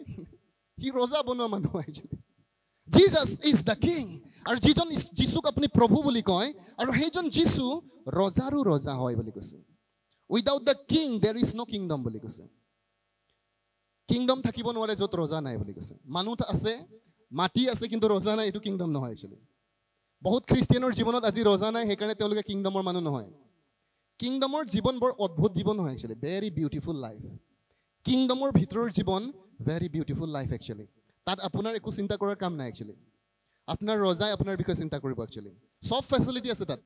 কিন্তু যিহেতু আমি ৰজা হিচাপে তেওঁক গ্ৰহণ কৰা নাই সেইকাৰণে আমি কষ্ট কৰি মৰিছোঁ একচুৱেলি আমাৰ লাইফ আমি ষ্ট্ৰাগলৰ পিছত ষ্ট্ৰাগল লগাই ৰাখিছোঁ কাৰণ আমি বুজি পোৱা নাই Jesus is the king actually kingdom Jesus is the government বুলি কৈছে। যীশুৱেই চৰকাৰ হয় actually he is the parliament তেওঁৱেই পাৰ্লিয়ামেণ্ট হয় actually he is the constitution তেওঁৱেই কনষ্টিটিউশ্যন হয় actually his word is the law actually তেওঁৰ বাক্যই কানুন হয় একচুৱেলি ফিক্স দিছ মাইণ্ড আপোনাৰ মাইণ্ডত এইটো আজি আপুনি ফিক্স কৰি দিয়ক একচুৱেলি যে যীশু যিজন যীশুক মই প্ৰভু বুলি মানিছোঁ আৰু তেওঁৰ যিটো চৰকাৰ ব্যৱস্থা হয় এইটো ৰাজতন্ত্ৰ হয় আৰু তেওঁৱেই গভৰ্ণমেণ্ট তেওঁৱেই চৰকাৰ তেওঁৱেই পাৰ্লিয়ামেণ্ট তেওঁৱেই একচুৱেলি কানুন তেওঁৱেই সংবিধান একচুৱেলি দেটছ ইট আৰু এইটো যদি আপুনি বুজি নাপায় আপুনি যীশুৰ কথা কেতিয়াও নামানিব একচুৱেলি আৰু যেতিয়া আপুনি যীশুৰ কথা নামানে তেওঁ আপুনি ৰজা হিচাপে গ্ৰহণ কৰা নাই। আৰু যদি তেওঁক ৰজা বুলি মানা নাই আপুনি কিংডম লাইফ জীয়াব নোৱাৰে actually you are out of kingdom actually আমি বহুত খ্ৰীষ্টিয়ান আজি কিংডম লাইফৰ বাহিৰত আছোঁ। কিয় বুলি ক'লে আমি যীশুক ৰজা হিচাপে গ্ৰহণ কৰা নাই। He is the king praise the lord যেতিয়া আপুনি কাৰোবাক ৰজা বুলি জানে সদায় তেওঁক আপুনি প্ৰণিপাত কৰে একচুৱেলি আমিতো হাত উঠাবলৈ টান লাগে যীশুৰ কাৰণে। আঠ ফুট আহি যায় মানুহ একচুৱেলি সেইকাৰণে। জ্যোতিষী পণ্ডিতবিলাকেও যেতিয়া যীশুক আহিলে তেওঁলোকে প্ৰথমে প্ৰণিপাত কৰিলে বুলি কৈছে। আৰু লাগে সুদা হাতত অহা নাই একচুৱেলি ৰজাৰ ওচৰত যেতিয়া আহে ৰাজতন্ত্ৰৰ এইটো নিয়ম আছে একচুৱেলি আপোনাৰ উত্তম বহুমূল্য দ্ৰব্য আপুনি লৈ পেলাই আহে ফাটা দহ টকা লৈ পেলাই নাহে কোনো হয়নে? গীৰ্জা গৈছোঁ। বহুত সময়ত আমি মই দানত পাইছোঁ একচুৱেলি ফাটা twenty rupees ten rupees why you come আপুনি যীশুক ভিখাৰী বুলি ভাবিছে নেকি? ঈশ্বৰৰ কাৰণে দান আনি আছে আপুনি একচুৱেলি অ'কে হয় মানুহে ব্যৱহাৰ কৰিব ঈশ্বৰৰ ৰাইজৰ কাৰণে কিন্তু এইটো ঈশ্বৰৰ নামত আহি আছে। কি বুলি ভাবিছোঁ আপুনি একচুৱেলি যেতিয়া আপুনি ৰজাৰ ওচৰত আহে আপোনাৰ উত্তম দান লৈ পেলাই আহক একচুৱেলি হোৱাট ইজ বেষ্ট আৰু এইটো কথাই মোকো সহায় কৰিছিলে। এটলিষ্ট মই ভাবিছিলোঁ যে প্ৰভু নতুন পইচা যিমান পাম তোমাক দান দিম একচুৱেলি হয় চবতো ব্যৱহাৰ কৰিব পাৰে কিন্তু মই স্পেচিয়েলি দান দিবৰ কাৰণে সদায় এটা নতুন পইচা মই লুকাই ৰাখোঁ একচুৱেলি মোৰ এটা বেগ আছে সোমোৱাই ৰাখোঁ যে সকলো নতুন পইচা যীশুৰ নামত যাব একচুৱেলি কোনো ফটা পইচা নাযাব একচুৱেলি প্ৰাইজ দ্য লৰ্ড দান দিবৰ কাৰণে আপুনি এতিয়া চিন্তা কৰিব নালাগে পাষ্টৰে কোৱাৰ নিচিনা ৰ বা কোৱা নহয়নে? তো এইটো মোৰ মোৰহে প্ৰিন্সিপল হয় মই আপোনাক লাইক ক'বলৈ ট্ৰাই কৰা নাই এটলিষ্ট ওৱান ইয়েৰৰ লাইক মোৰ অফাৰিং ৰেডি থাকে একচুৱেলি দিছোঁ হোল ইয়েৰ মই দান দিবৰ কাৰণে চিন্তা কৰিব নালাগে কাৰণ মই অলৰেডি গোটাই ৰাখিছোঁ। এইটো তাত আছে একচুৱেলি জাষ্ট ছানডে হ'লে মই তাৰ পৰা ওলাব লাগে মোৰ ছোৱালীকো দিব লাগে তো মোৰ ৱাইফৰ এতিয়া ইনকাম নাই মই তেওঁকো দিব লাগে দেটছ অ'কে ফাইন খেলে বুলি ক'লে মানে মোৰ ৰজাৰ ওচৰত মই এটা অফাৰিং লৈ গৈ আছোঁ। তো তাত মই কেজুৱেল এটিটিউড লৈ যাব নোৱাৰোঁ। এইফালে হেপিয়াইছে এইফালে হেপিয়াইছে আছেনে নাই হয়নে ন কেনেকুৱা ধৰণৰ এটলিষ্ট আমি ৰজাক যেতিয়া দিওঁ বুলি কৈছে সন্মান সহকাৰে দিম actually praise the lord hallelujah thank you Jesus number two দুই নম্বৰ হৈছে the king is the ultimate and the only source of authority বুলি কৈছে ৰজাই ৰাজতন্ত্ৰত একমাত্ৰ অধিকাৰী হয় বুলি কৈছে অনলি অথৰিটি আল্টিমেট অথৰিটি যেনেকৈ আমি ৰাজতন্ত্ৰ লাইক গণতন্ত্ৰত হওক বা আপুনি সংসদীয় চৰকাৰ ব্যৱস্থাত যদি আপুনি চায় আৰু সেইবিলাকত যেতিয়া বুলি কৈছে প্ৰধানমন্ত্ৰীয়ে সিদ্ধান্ত লয় তো তেওঁলোকে পাৰ্লিয়ামেণ্টৰ লগত কথা পাতিব লাগে। বিৰোধী পাৰ্টীয়ে কিবা এটা নাকচ কৰিব পাৰে। মেডিয়াই কিবা এটা ক'ব পাৰে হয়নে? কিন্তু ৰাজতন্ত্ৰত যেতিয়া ঈশ্বৰে কথা কয় is the final actually hallelujah আমি যে গণতন্ত্ৰত থাকোঁ চাৰ্চ সেইকাৰণে মই বাৰে বাৰে এইটো পইণ্ট আপোনাৰ ওচৰত আনি আছোঁ। আমি গণতন্ত্ৰ মেণ্টেলিটি ডেভেলপ কৰি দিলোঁ। চৰকাৰে কৈ থাকে কৈ থাকে তাৰ পিছতো আমি নকৰোঁ। যেনেকৈ Aadhaar card PAN card link কৰিবা। চৰকাৰে কৈ আছে হয়নে? সমস্যাৰ মাজ মানে টাইম আফটাৰ টাইম আমি নুশুনোহে নুশুনো হয়নে? আৰু এইটো মেণ্টেলিটি আমাৰ জীৱনত ডেভেলপ হৈছে। আৰু সেইকাৰণে যীশুৱে যেতিয়া কয় পবিত্ৰ হ'বা পবিত্ৰ হ'বা তো আমি পাত্তাই নিদিওঁ তাক একচুৱেলি তো ঈশ্বৰৰ যিটো কানুন হয় যিটো তেওঁৰ মুখৰ পৰা ওলোৱা কথা হয় এইটো এইটোতো গণতন্ত্ৰৰ কথা আপোনাৰ প্ৰাইম মিনিষ্টাৰৰ কথা নহয় একচুৱেলি আৰু যেতিয়া আপুনি ঈশ্বৰৰ কথা নামানে এইটো কানুন হয়তো। কানুন ভংগ কৰিলে মানে তাৰ লগত এটা পানিছমেণ্ট জড়িত হৈ থাকে। ঈশ্বৰে পানিছমেণ্ট নিদিয়ে। এই কানুনটোৰ লগতে এটা কানেকশ্যন আছে পানিছমেণ্টত যেনেকৈ ট্ৰেফিক ৰুল ভংগ কৰিব আপুনি আপোনাৰ বিপদ। ঠিক তেনেকৈ যেতিয়া আপুনি ঈশ্বৰে কোৱা ল ব্ৰেক কৰিব একচুৱেলি তো তাৰ যিটো পানিছমেণ্ট ই আপোনাক ফ'ল' কৰিব একচুৱেলি যেনেকৈ এলেহুৱা ঈশ্বৰৰ আইন ভংগ কৰা হয় একচুৱেলি তো যেতিয়া আপুনি আৰু মই এলেহুৱা হ'ম তো আপোনাক দৰিদ্ৰতাই ফ'ল' কৰিব একচুৱেলি আপুনি এলেহুৱা নহয় কিন্তু মিছমেনেজমেণ্ট কৰে আপোনাক দিয়া ৰিচৰ্চবিলাক তেতিয়াও আমি লাইক দৰিদ্ৰ হ'ম। জ্ঞানৰ দুখীয়া হ'ম যেতিয়া আমি জ্ঞান নিবিচাৰিম একচুৱেলি জ্ঞান যেতিয়া আমি জমা নকৰিম আমি জ্ঞানৰ দুখীয়া মানুহ একচুৱেলি সন্মান যেতিয়া আপুনি জমা নকৰিব আপুনি সন্মানৰ দুখীয়া মানুহ হৈ যাব actually okay so' this is the process এইটোৱেই প্ৰচেছ হয়। ঈশ্বৰে কৈছে যে গড ৰিৱাৰ্ডছ ডিলিজেণ্ট পিপুল বুলি কৈছে। ঈশ্বৰে যত্নেৰে কাম কৰা মানুহক পুৰস্কাৰ দিওঁতা ঈশ্বৰ হয় বুলি কৈছে।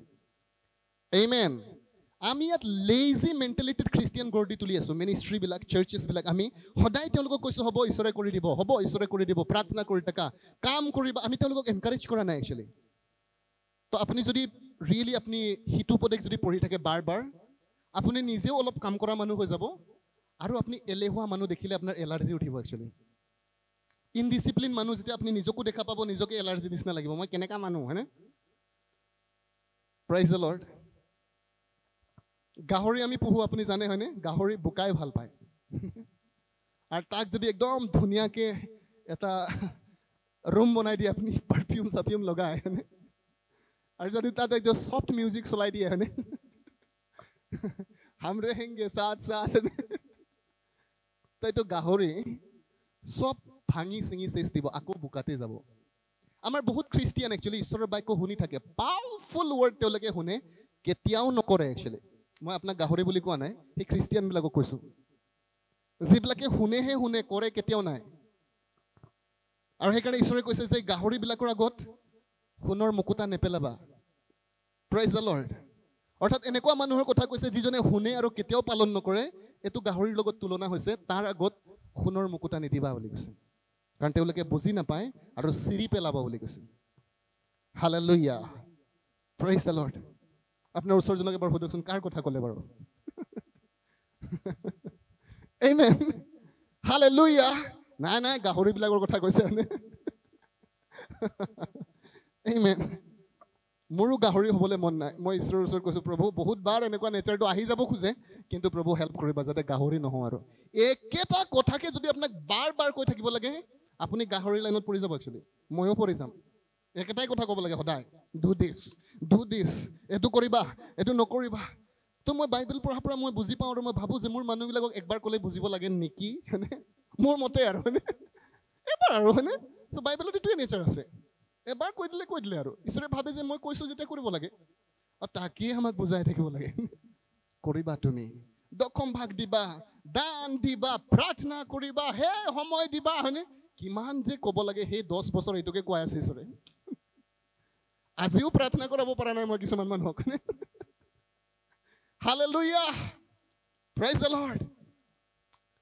আৰু সেইকাৰণে মই কেতিয়াবা ভাবোঁ মুচিৰ সেইকাৰণে এনেকুৱা অৱস্থা হৈছিলে চাগে ঈশ্বৰো খং উঠি গৈছে কেতিয়াবা কৈছে মই গ'লে মাৰিহে পাম সিহঁতক বুলি কৈছে মুচিয়ে কৈছে হে প্ৰভু নামাৰিবা কৈছে যদি তুমি উলিয়াই নি পেলাই মাৰি দিয়া তোমাৰ নামৰ বদনাম হৈ যাব বুলি কৈছে মুচি ঈশ্বৰক বুজাবলগীয়া হৈছে। কিন্তু মুচিৰ খং উঠি গৈছিলে মানুহবিলাকক। এই থৰডিঙীয়া মানুহবিলাক কৈছে আমেন। তো মই ইচ্ছা কৰিছোঁ যে আমি কেতিয়াও থৰডিঙীয়া মানুহ হ'ব নালাগে একচুৱেলি এনেকুৱা মানুহ হ'ব লাগে ঈশ্বৰৰ বাক্য যেতিয়াই আহি যায় অঁ আজি পাষ্টৰে কৈছে পিৰালিৰ ওচৰতে লৈ এটা জলকীয়া লগাব লাগে লগাই দিম মানে। ওলাই বা নোলাই দেখা যাব কিন্তু কৈছে আৰু হয়নে? আজিৰ পৰা আৰু এনেই ওচৰৰ মহিলাবিলাকৰ লগত গোট খাই পেলাই পৰচৰ্চা কৰি থকাতকৈ এই গিৰিয়েকক দুটামান বাঁহ দি পেলাই মোৰ বেৰ দি দিয়েচোন অকণমান। ৰঙালাওকে লগাই দিওঁ হয়নে কিবা এটাকে লগাই দিম এটলিষ্ট পইচা কেইটকামান বাচিব। Hallelujah praise the lord amen আৰু যদি আমি তেনেকুৱা কৰিবলৈ আৰম্ভ কৰোঁ সঁচাকৈ আমি উন্নতিৰ ফালে গতি কৰিম। মানে চহৰলৈ যোৱা ৰাস্তাৰ ফালে যাম। এমেন আমাৰ মামা ইয়াত বহি আছে। আৰু যদি তেওঁক আপুনি দেখে বহুত মানুহ চিনি পায় ইটো ৰাস্তাতে গৈ থাকে অ'কে ৰাতিপুৱাই আপুনি দেখা পাব ৰাতিও দেখা পাব। আৰু তেওঁৰ বেকগ্ৰাউণ্ড মই বুজি নাজানো একচুৱেলি কিন্তু মই বিলিভ কৰোঁ তেওঁক দেখি পেলাই যে এইজন মানুহ দুখীয়া হ'ব নোৱাৰে একচুৱেলি কোনো কাৰণত হ'ব নোৱাৰে। আজিলৈকে ঘৰ গৈ পোৱা নাই কিন্তু মই বিলিভ কৰোঁ যে কিমান কৰোৰপতি হয়নে নহয় এইটোও নাজানো কিন্তু তাৰ কাম দেখি মই ভাবোঁ যে ই দুখীয়া হ'ব নোৱাৰে একচুৱেলি কিয়? কাৰণ এইটো বাইবেলৰ এটা ৰুলছ হয় যিজনে বুলি কৈছে ৰাতিপুৱাই দেখা পোৱা যায় কিছুমান মানুহক হয়নে? আৰু ৰাতি আমাক আকৌ ৰাতিপুৱাও দেৰিকৈ দেখা পোৱা যায়। তো মই নিজকে কৈছো হে প্ৰভু আমি দুখীয়া নহ'লে কোনে দুখীয়া হ'ব? উত্তৰ হয়নে? সঁচা কথা কৈছা. Hallelujah. চাৰ্চ এইটো জমনি নিচিনা লাগিছে কিন্তু মই নিজকে বহুতবাৰ এইটো কথা কৈছোঁ। দিগন্ত তুমি দুখীয়া নহ'লে কোন দুখীয়া হ'ব? শুই থাকিবলৈ ভাল পাবা কাম নকৰিবলৈ ইচ্ছা কৰিবা হয়নে? তোমাৰ time management who will be বুলি কৈছে? কোনে দুখীয়া হ'ব? তুমিয়ে হ'বা একচুৱেলি আৰু তাৰপিছত আপুনি কৈ থাকে মোকতো ঈশ্বৰে ভালেই নাপায়। ঈশ্বৰে ভাল পায় আপোনাক actually amen praise the lord আপুনি ভাবে নেকি আপোনাৰ ভৰি হাত ঈশ্বৰে কি কাৰণে বনাইছে? পেট পেলাই শুই থাকিবৰ কাৰণে নেকি? এমেন আপোনাৰ যিটো ব্ৰেইন হয় একচুৱেলি ইমান পাৱাৰফুল হয় মই বুজিবলৈহে ট্ৰাই কৰি আছোঁ। আনষ্টাইনে কৈছে যে মোৰ যিটো ব্ৰেইন আছিলে তাৰ মই অলমষ্ট টেন পাৰ্চেণ্টহে ইউজ কৰিলোঁ। এইট নে টেন কৈছে হয়নে? ইমানহে ইউজ কৰিছোঁ। ফ'ৰ পাৰ্চেণ্ট ফ'ৰ পাৰ্চেণ্ট আইনষ্টাইনে কৈছে যিটো মানে যিটো ব্ৰেইন মোৰ ওচৰত আছিলে তাৰ মাত্ৰ চাৰি শতাংশ ইউজ কৰিলোঁ। আৰু পৃথিৱীৰ মানুহে মোক জিনিয়াছ বুলি কৈছে হয়নে? ভাবি চাওক আপোনাৰ দিমাগ কি আছে একচুৱেলি আৰু সেইকাৰণে চাইকলজিষ্ট মই এবাৰ এটা ৰিচাৰ্চ পত্ৰ পঢ়িছোঁ তাত লিখা আছে কোনোবা মানুহ যদি তাৰ ব্ৰেইনৰ টু পাৰ্চেণ্ট ইউজ কৰে he will become a intelligent person বুলি কৈছে। তাৰমানে কি? আমি কেতিয়াবা ওৱান পাৰ্চেণ্টো ইউজ কৰা নাই ব্ৰেইনৰ actually hallelujah cannot be failure বুলি কৈছে। এইটো এইটো ষ্টেটমেণ্টত লিখা আছে কোনোবা ব্যক্তি যদি টু টু থ্ৰী পাৰ্চেণ্ট নিজৰ ব্ৰেইন ইউজ কৰে he will be highly successful বুলি কৈছে। তেওঁ জীৱনত হাই ছাকচেছফুল মানুহ হ'ব। আপুনি ভাবিছে নেকি আপোনাৰ দিমাগ গাধা বুলি? আপোনাৰ ডাঙৰ শত্ৰুটো আপুনি নিজে হয় একচুৱেলি আপুনি সদায় ভাবে মই গাধা হয়। এইটো কনচেপ্টে আপোনাক ইয়াত ৰাখি থৈছে। আপুনি আৰু মই সদায় ভাবিছোঁ মই কৰিব নোৱাৰিম। ডেটছ ইয়ৰ এনিমি একচুৱেলি এইজন আপোনাৰ এনিমি হয়। মোৰতো ইমানেই আছে এইটোৱে এনিমি হয়। আমেন অ'কে নাম্বাৰ থ্ৰী হৈছে a king is never voted into power and never voted out of power বুলি কৈছে। এজন ৰজাক কেতিয়াও ভোট দি পেলাই বুলি কৈছে তেওঁক শাসনত অনা নহয় আৰু তাক ভোট দি পেলাই উলিয়াই দিব পৰা নাযায়। গণতন্ত্ৰততো মন গ'লে মানে সময় পাৰ হ'লে মানে বেলেগ প্ৰধানমন্ত্ৰী আহিব কোনোবা চিফ মিনিষ্টাৰ আহিব বা কাৰোবাৰ তাক একচুৱেলি আনি পেলাই অনাস্থা প্ৰস্তাৱ আনি পেলাই আমি তেওঁলোকক নাইকিয়া কৰি দিওঁ কেতিয়াবা হয়নে? কিন্তু ইয়াত বুলি কৈছে যিজন ৰজা যীশুখ্ৰীষ্ট বাই বাৰ্থ ৰজাসকল জন্মৰ পৰাই তেওঁলোকে ৰজা হয় একচুৱেলি জন্মই হৈছে ৰজা হ'বৰ কাৰণে।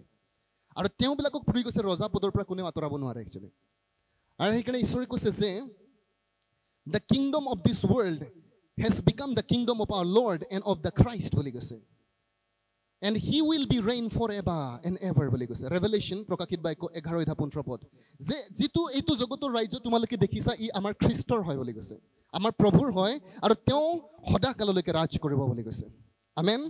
এইটো তিনি নম্বৰ বৈশিষ্ট্য হয়। ৰজা জন্ম হয় ৰজা হ'বৰ কাৰণে একচুৱেলি তেওঁক ভোট দি পেলাই অনা নহয় আৰু ভোট দি পেলাই আউট কৰিব পৰা নহয়। নম্বৰ ফ'ৰ কেৰেক্টাৰিষ্টিক্স চাৰি নম্বৰ বৈশিষ্ট্যটো হৈছে a king's word his law' actually ৰজাৰ কথাই কানুন বুলি কৈছে ৰজাৰ কথা কানুন হয় actually if he says that's it actually আৰু যীশু ৰজা হয় তাৰ কথা কানুন হয় একচুৱেলি যেতিয়া আপুনি যীশুৰ কা- কথা কানুন হিচাপে গ্ৰহণ কৰিব আপুনি কিংডমৰ নাগৰিক হৈ যাব একচুৱেলি অপচনেল নহয় চাৰ্চ যীশুৰ কোৱা প্ৰতিটো কথা অপচনেল নহয়। It is king's decree actually এইটো তেওঁ ৰজাই কোৱা আদেশ হয় বুলি কৈছে। আমেন সদায় প্ৰাৰ্থনা কৰিবা। এইটো পৰামৰ্শ নহয় একচুৱেলি কামাণ্ডমেণ্ট হয়। ৰজাৰ আদেশ হয় একচুৱেলি আপোনাৰ মন যায় মন নাযায় কি মতলব?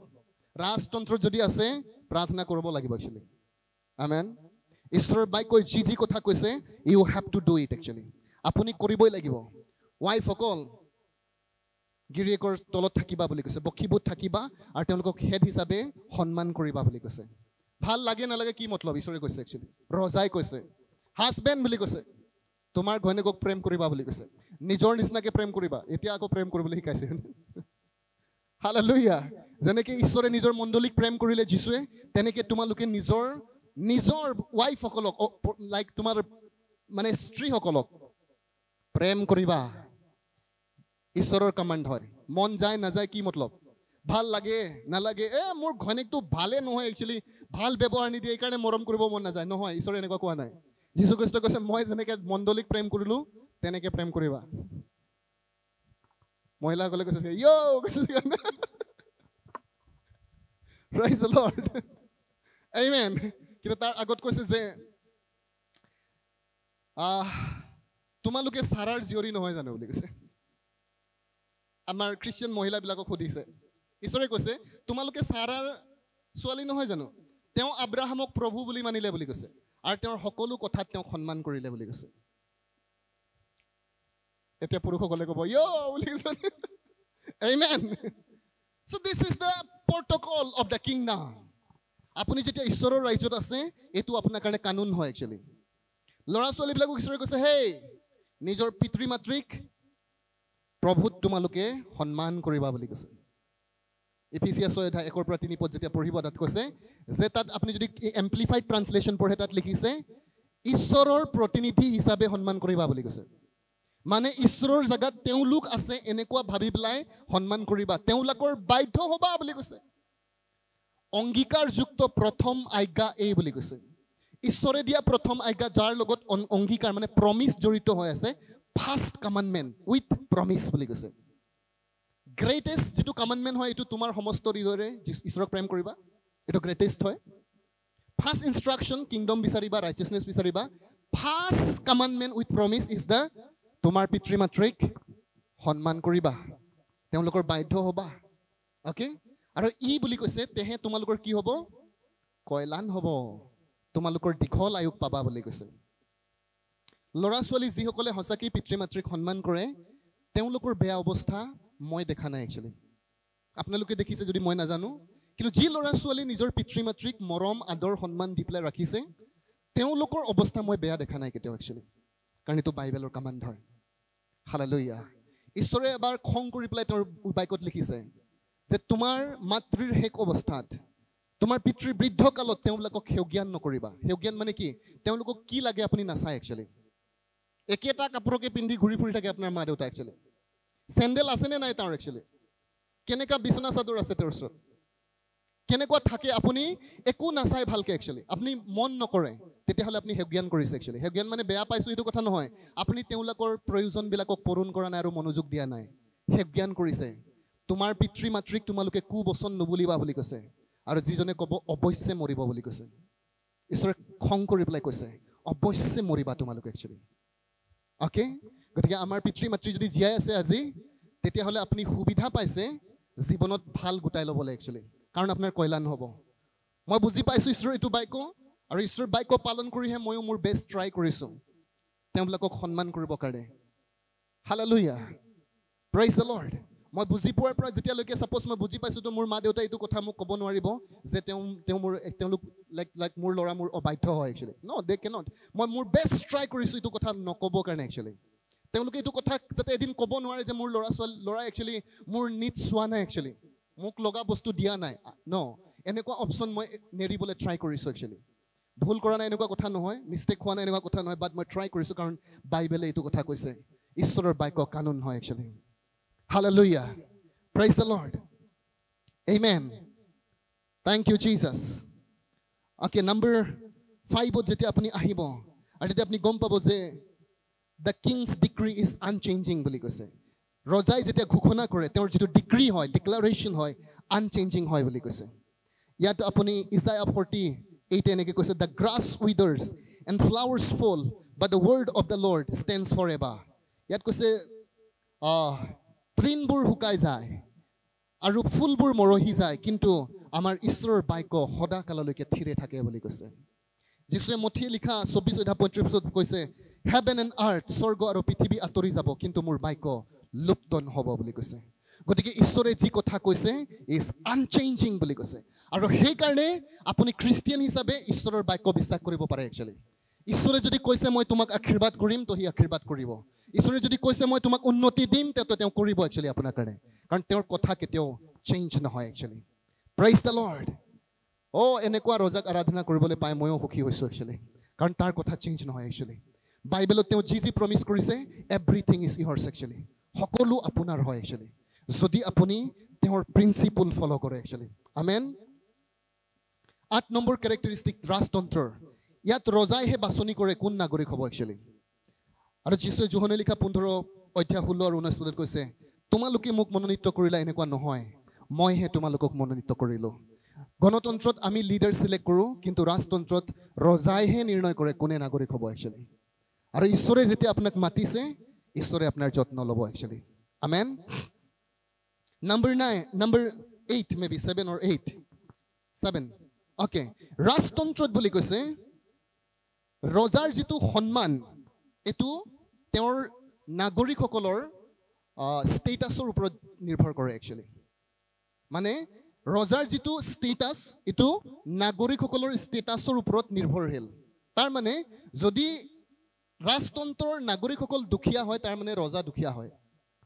যদি নাগৰিকসকল ধনী মানুহ হয় তেতিয়াহ'লে ৰজা ধনী হয় একচুৱেলি অ'কে তো আমাৰ যিমান ৱেল বিং আমাৰ যিমান ঐশ্বৰ্যতা একচুৱেলি ই আমাৰ ৰজালে গৌৰৱ কঢ়িয়াই আনে একচুৱেলি প্ৰাইজ দ্য লৰ্ড আমি গণতন্ত্ৰত নাথাকোঁ চাৰ্চ আমি ৰাজতন্ত্ৰত আছোঁ। আমাৰ যিটো স্পিৰিচুৱেল চিটিজেনশ্বিপ হয় এইটো ৰাজতন্ত্ৰ হয় আৰু স্বৰ্গ আটাইতকৈ ধনী জেগা হয়। প্ৰাইজ দ্য লৰ্ড য'ত ৰাস্তাই সোণৰ আছে একচুৱেলি আটাইতকৈ ধনী পৃথিৱীত এনেকুৱা কোনো জেগা নাই।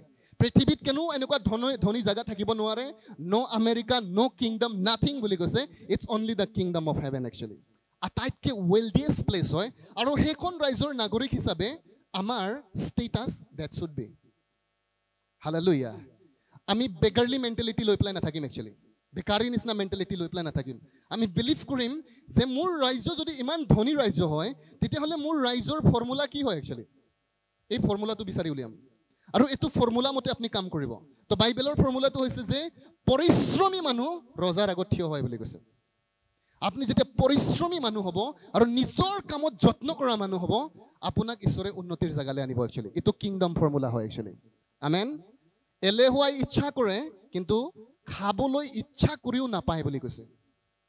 আপুনি আৰু মই যেতিয়া এলেহুৱা হৈ যাম আৰু তেতিয়া বুলি কৈছে আপুনি ইচ্ছা কৰিব কিন্তু আপুনি নাপাব।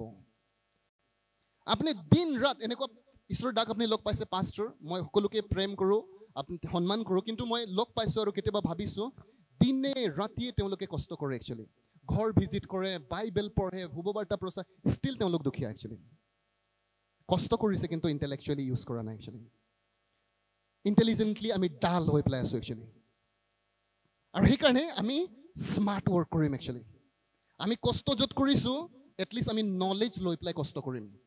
আমেন প্ৰাইজ দ্য লৰ্ড বুজি পেলাই কষ্ট কৰিম একচুৱেলি আৰু যদি আপুনি বুজি পেলাই কষ্ট কৰে ই আপোনাক ইজিলি আপোনাক কামত যোৱাত সহায় কৰিব।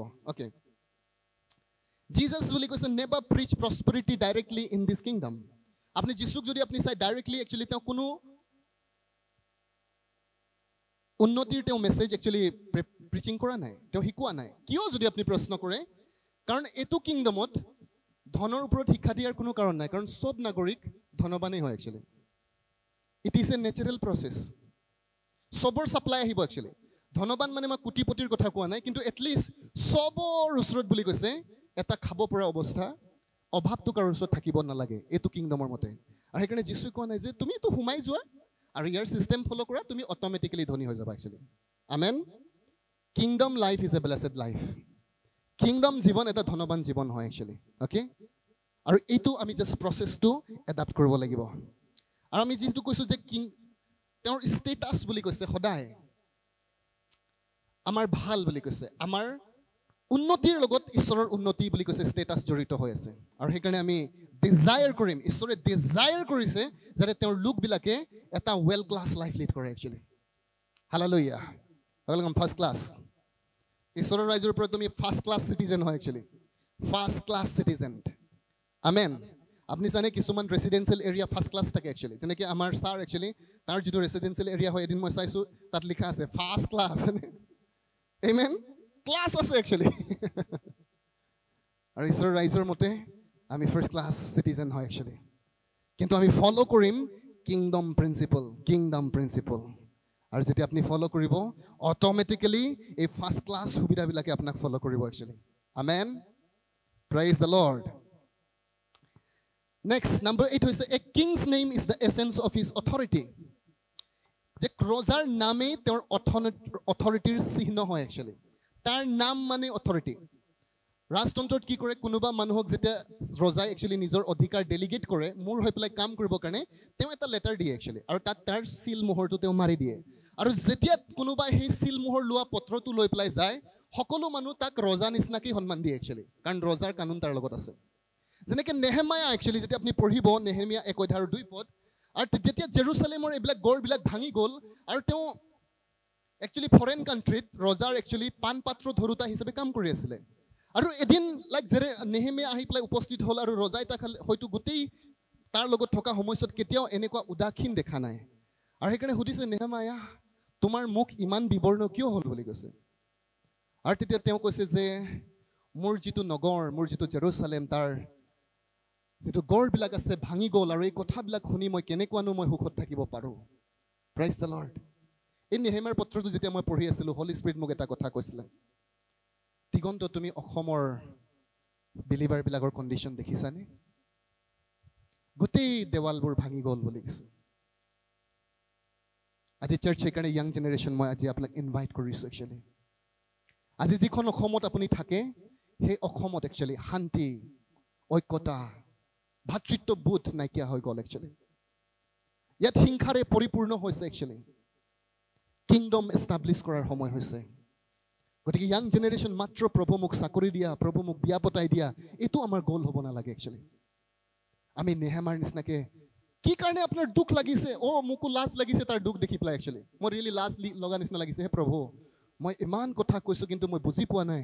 নেহেমীয়া বিদেশত থাকি পেলাই তেওঁ ভাবিব পাৰিলেহেঁতেন তেওঁ ক'ব পাৰিলেহেঁতেন মোৰ মাক বহুত দিন দেখা নাই। মোৰ পত্নীক দেখা নাই কাৰণে দুখ লাগিছে। তেওঁ কৈছে নাই। মোৰ ঈশ্বৰৰ গৃহৰ দেৱালবিলাক ভাঙি গ'ল একচুৱেলি সেইকাৰণে মোৰ খুব দুখ লাগিছে। আজি দেখিছে আপুনি বহুত পাষ্টৰবিলাকক মই দেখিছোঁ একদম মৰম আৰু সন্মানেৰে কথা কৈছোঁ।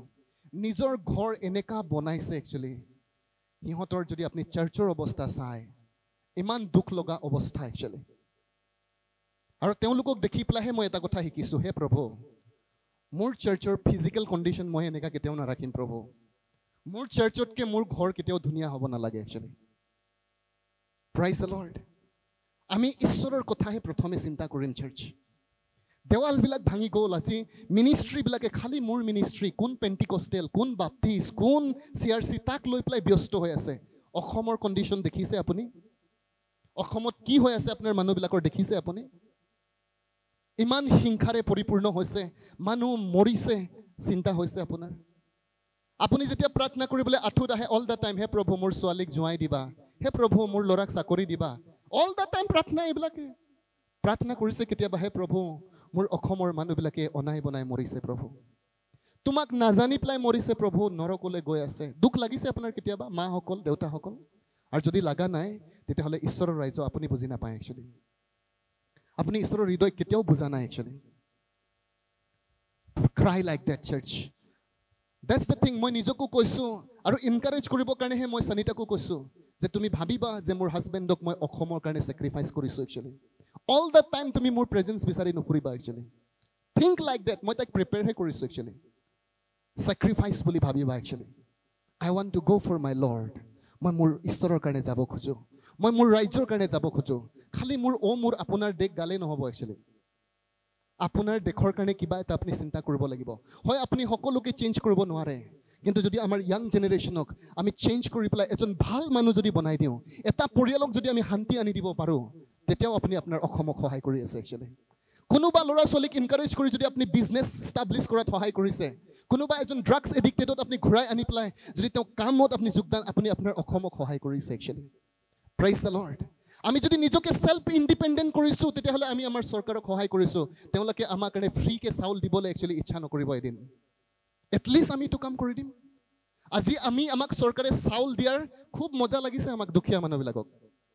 আমি এটা অভিশাপ হয় একচুৱেলি আমি ৰিয়েলি আমি যদি ভালকৈ চাওঁ আমি আমাৰ দেশখনৰ কাৰণে এটা অভিশাপ হয় একচুৱেলি আমি যদি নিজকে উন্নতি কৰালোহেঁতেন একচুৱেলি আমি যদি কাম কৰিলোহেঁতেন একচুৱেলি আমাৰ চৰকাৰক আমি সহায় কৰিব পাৰিলোহেঁতেন। এই হাজাৰ হাজাৰ মানে লাখ লাখ কোটি টকা তেওঁলোকে অন্য কামত ব্যৱহাৰ কৰিব পাৰিলেহেঁতেন একচুৱেলি হয় আমাৰ গভৰ্ণমেণ্ট ছিষ্টেমত কাৰাপশ্যন আছে কিবা আছে আমি তথাপিও এজ এ চিটিজেন নাগৰিক হিচাপে এইটো আমাৰ দায়িত্ব হয় একচুৱেলি আমাৰ দেশখনক যদি আপুনি বহুত সহায় কৰিব নালাগে একচুৱেলি গৈ পেলাই আপুনি দেশৰ কাৰণে একচুৱেলি ৰাজনীতি নেতা হ'ব পাৰিলে ভাল আৰু যদি পাৰা নাই এটলিষ্ট নিজকে ছেল্ফ ডিপেণ্ডেণ্ট মানুহ বনাই দিয়ক একচুৱেলি নিজৰ টকাৰে নিজৰ ইনকাম কৰি পেলাই আপুনি জীয়াই আছে আৰু পাৰে যদি কাৰোবাক আপুনি জীৱন সহায় কৰিব পাৰে।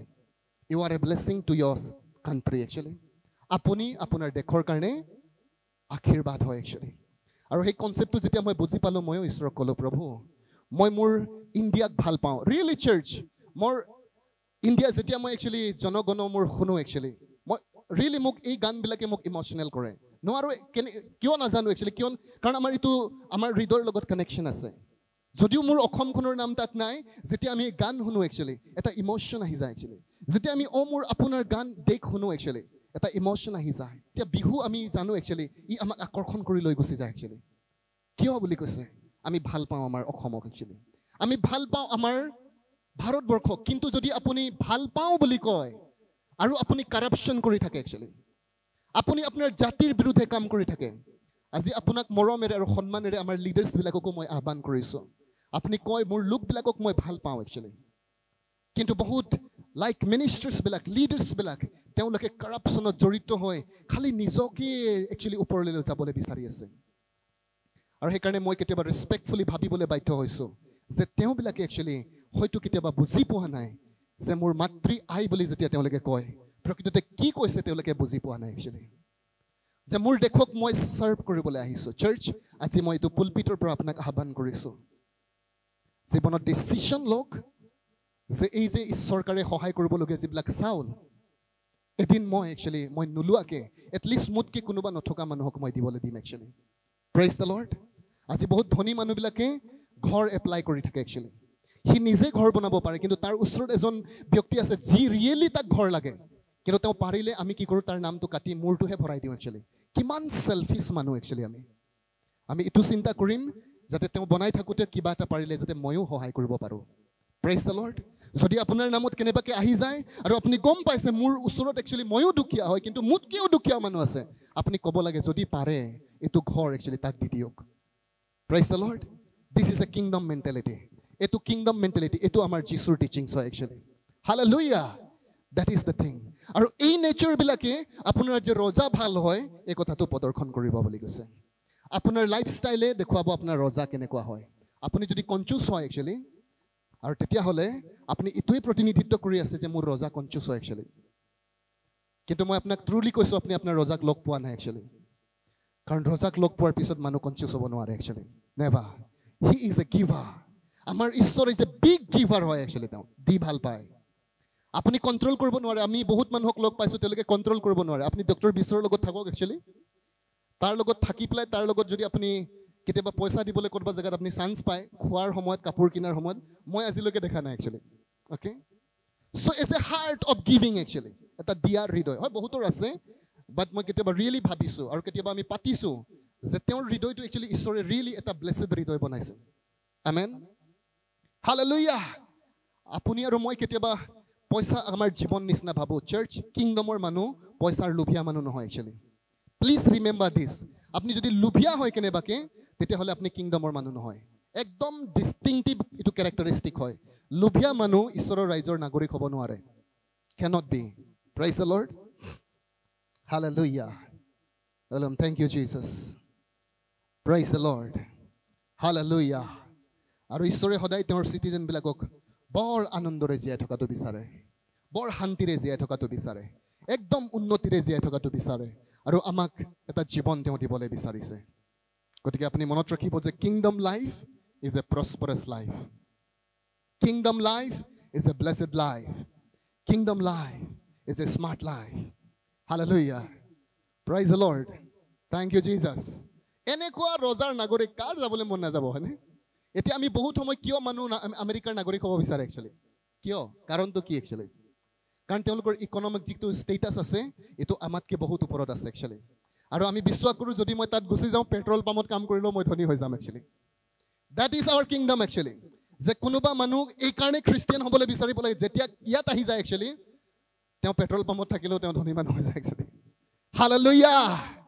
দ্য লৰ্ড আৰু কেলে এনেকুৱা বেচাৰা লাইফ লৈ পেলাই আমি জীয়াই আছোঁ একচুৱেলি কিয়? যদি প্ৰশ্নটোৰ উত্তৰ হৈছে কাৰণ আমি কিংডমো বুজা নাই প্ৰিন্সিপলো বুজা নাই আমি ফ'ল' কৰা নাই একচুৱেলি আমি কিংডমৰ বাহিৰৰ জীৱন যাপন কৰি আছোঁ। কিন্তু আজি ঈশ্বৰে আপোনাক বুজাব বিচাৰিছে kingdom is a blessed life এনেকুৱা আকৰ্ষণীয় জেগা হয় দেখিলেই যাবলৈ মন যায়। আমেন নাম্বাৰ নাইন আৰু এইটো আমাৰ লাষ্ট পইণ্ট হ'ব একচুৱেলি কিন্তু মেইন পইণ্ট হ'ব। Jesus is the lord in this kingdom Jesus is the lord আমি গম পালোঁ এইটো ৰাজ্যত যীশু ৰজা হয় আৰু তাৰপিছত যীশু প্ৰভু হয়। আমেন। আপুনি আৰু মই যীশুক যেতিয়া প্ৰভু বুলি কৈছোঁ আজি আপোনাৰ ধাজিয়া উৰিব ৰ'ব অলপ পিছত হয়নে? আমি যে যীশুক প্ৰভু প্ৰভু বুলি কৈ থাকোঁ আজি অৰিজিনেল পিকচাৰ ওলাব একচুৱেলি যে প্ৰকৃততেই যীশু আপোনাৰ প্ৰভু হয় নে নহয় একচুৱেলি কাৰণ দুইটা মানুহ একদম ডিষ্টিংক্টলি ছেপাৰেট হ'ব আজি। হালেলুয়া এই ৰিফ্লেক্ট কৰিব আপোনাৰ জীৱনত যে তেওঁ প্ৰভু হয় নে নহয়। আৰু কেনেবাকে যদি প্ৰভু নহয় আপুনি পৰিত্ৰাণো পোৱা নাই। ৰিমেম্বাৰ ইট কাৰণ বাইবেলে এনেকৈ কৈছে because if you acknowledge and confess with your mouth that Jesus is Lord recognize his power, authority, and majesty as God, and believe in your heart, you will be saved. বুলি কৈছে যদি তুমি নিজ মুখেৰে হৃদয়েৰে বিশ্বাস কৰা যীশু ঈশ্বৰ হয় আৰু প্ৰভু হয় তেতিয়াহ'লে তুমি পৰিত্ৰাণ পাবা ঈশ্বৰে যে তেওঁক মৃত্যুবিলাকৰ পৰা তুলিলে এই কথাটো যদি হৃদয়েৰে বিশ্বাস কৰা আৰু নিজৰ মুখেৰে তেওঁক যদি প্ৰভু বুলি স্বীকাৰ কৰা তেতিয়া পৰিত্ৰাণ পাবা। প্ৰভু লৰ্ড মানে L O' R D Lord প্ৰভু। আপোনাক এইটো প্ৰভুৱে নবচায়। যেনেকৈ কোনোবা ছাপ'জ সুদৰ্শনে মোক একচুৱেলি কেতিয়াবা ধেমালিতে তেওঁ প্ৰভু বুলি কৈ পায় হয়নে? তো মই সেইজন প্ৰভু নহয় মই তাক বচাব নোৱাৰোঁ একচুৱেলি এই ধেমালিতে যে তেনেকৈ মোক প্ৰভু কয় বহুত খ্ৰীষ্টিয়ানে ধেমালিতে যীচুক প্ৰভু বুলি কয়। আৰু সেইকাৰণে তেওঁলোক পৰিত্ৰাণ পোৱা নাই। মই ক্লিয়াৰলি আজি আপোনাক কৈ আছোঁ। দে আৰ নট ছেভড যিবিলাক বহুত মে বি আপুনি মই কোনোবা কেটেগৰীত পৰি যাব পাৰোঁ। বহুত reverend pastor are not save they are not born again not born again হা হা কৈছে কোনোবা শুনি পেলাই হেনে এনেকা কেনেকা হ'ব পাৰে এনে এনেকুৱাই হয়। নিকদিমৰ কথা জানে আপুনি? Great leader of the Israel আছিলে একচুৱেলি ইজৰাইলৰ গ্ৰেটেষ্ট লিডাৰ সত্তৰজনৰ ভিতৰত এজন আৰু হিষ্টৰিয়ানবিলাকে কৈছে তিনি নম্বৰ পজিশ্যনত আছিলে। ভেৰি ছাকচেছফুল লিডাৰ আৰু সেইকাৰণে যিচুৱে তেওঁ কৈছে তুমি ইজৰাইলৰ তুমি একচুৱেলি লিডাৰ হৈও বুজি নোপোৱা নে? তুমি নাজানানে এইটো কথা কৈছে। নতুনকৈ জন্ম নাপালে কোনেও ঈশ্বৰৰ ৰাজ্য যাব নোৱাৰে? বহুতে আজি ৰেভাৰেণ্ট টাইটেলটো বৰ ফূৰ্তিতে লগাই লৈছে। ৰেভাৰেণ্ট আৰু এইটো ৰেভাৰেণ্ট একচুৱেলি নিজেই নতুন জন্ম পোৱা নাই। আজি বহুত খ্ৰীষ্টিয়ান লিডাৰ কিংডমৰ বিৰোধী হয় একচুৱেলি তেওঁলোকে। যেনেকৈ যীশু যেতিয়া পৃথিৱীত আহিলে ধৰ্মগুৰুসকল ধৰ্মৰ পুৰোহিতসকল যীশুৰ এগেইনষ্টত আহিলে।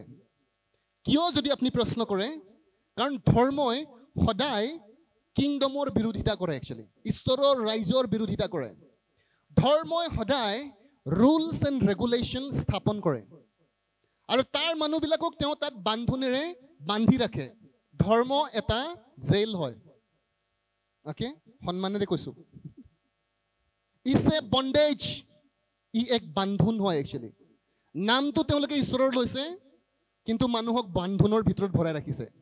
এইটো কৰিব নাপায় সেইটো কৰিব নাপায়। উচ্চ শ্ৰেণীৰ মানুহ নিম্ন শ্ৰেণীৰ মানুহ হয়নে? ইয়াৰ ঘৰত খাবা তাৰ ঘৰত নাখাবা হয়নে? এই কি বনাই ৰাখিছে বুলি ক'লে মানে? এইটো ধৰ্মটো বান্ধোন হয় একচুৱেলি হালালুয়া প্ৰাইজ লৰ্ড ই আপোনাক স্বাধীন কৰিব নোৱাৰে আৰু পৰিত্ৰাণো দিব নোৱাৰে। ধৰ্মই পৰিত্ৰাণ নিদিয়ে। এইটো জাষ্ট আপোনাক সমাজত জীয়াই থাকিবৰ কাৰণে এটা জাষ্ট আপোনাক সমাজে দিব। মৰিলে মানে কবৰ দিবৰ কাৰণে জুই দিবৰ কাৰণে মানে যিকোনো কাম কৰিবৰ কাৰণে বিয়া হ'লে বিয়া পাতাই দিবলৈ এইবিলাকৰ বাহিৰে ধৰ্মই আপোনাক একো দিব নোৱাৰে। অনন্ত জীৱন এইটোতো বহুত পিছৰ কথা।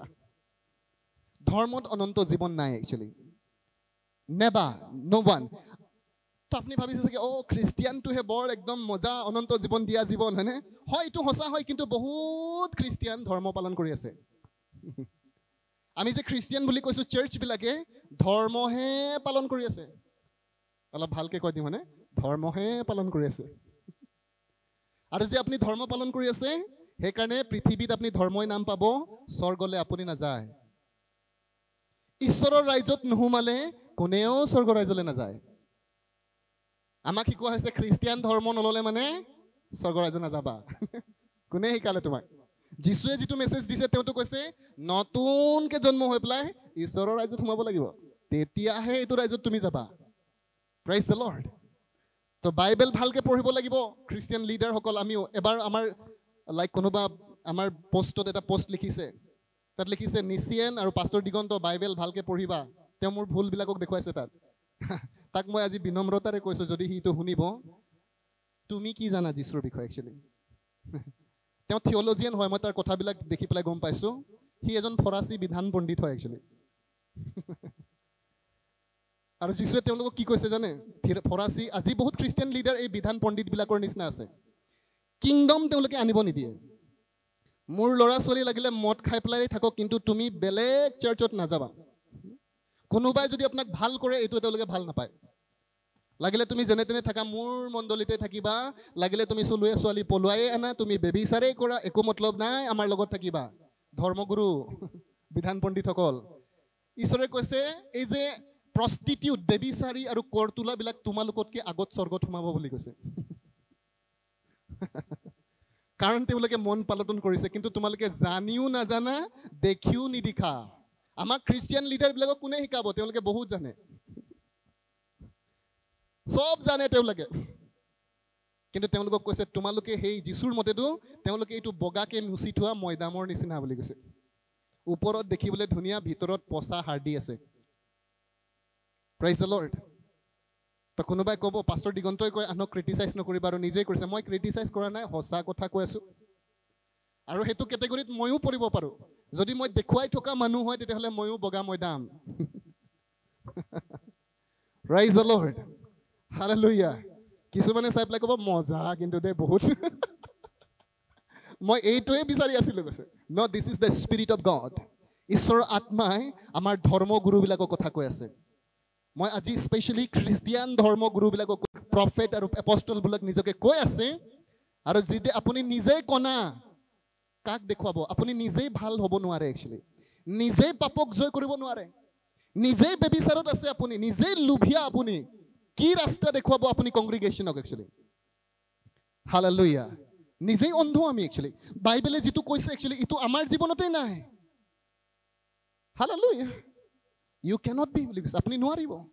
You must be born again আপুনি বৰ্ণ এগেইন হ'ব লাগিব actually to enter into the kingdom of God ঈশ্বৰৰ ৰাজ্যত প্ৰৱেশ কৰিবৰ কাৰণে you must be born again hallelujah thank you Jesus আমি বহুত সময়ত খালি ডিনেমিনেশ্যনৰ কথা কৈ আছোঁ। C R C Baptist Pentecostal চবেই ভাবে আমি চুপাৰ আমি চুপাৰ মানে কোনো চুপাৰ নহয় একচুৱেলি চব প্ৰব্লেম আছে। এমেন আমি as a body of Christ আমি যদি ইউনিটি আৰু লাভত আহিব নোৱাৰোঁ you are not a Christian actually আপুনি যদি ঐক্যতা আৰু প্ৰেমত আহিব নোৱাৰে কোনোবা ঈশ্বৰৰ কামক যদি আপুনি বাধা দিবলৈ বিচাৰি থাকে you are not a Christian actually hallelujah amen hallelujah praise the Lord amen hallelujah praise God hallelujah that should not be আৰু মই আপোনালোকৰ প্ৰতি মোৰ কিবা ক্ষোভ আছে সেইটো কাৰণে কৈছোঁ এনেকুৱা কোনো কাৰণ নাই। কথাটো হৈছে যে যীচুকো বিৰোধী কৰিছিলে। বিধান পণ্ডিতবিলাকে।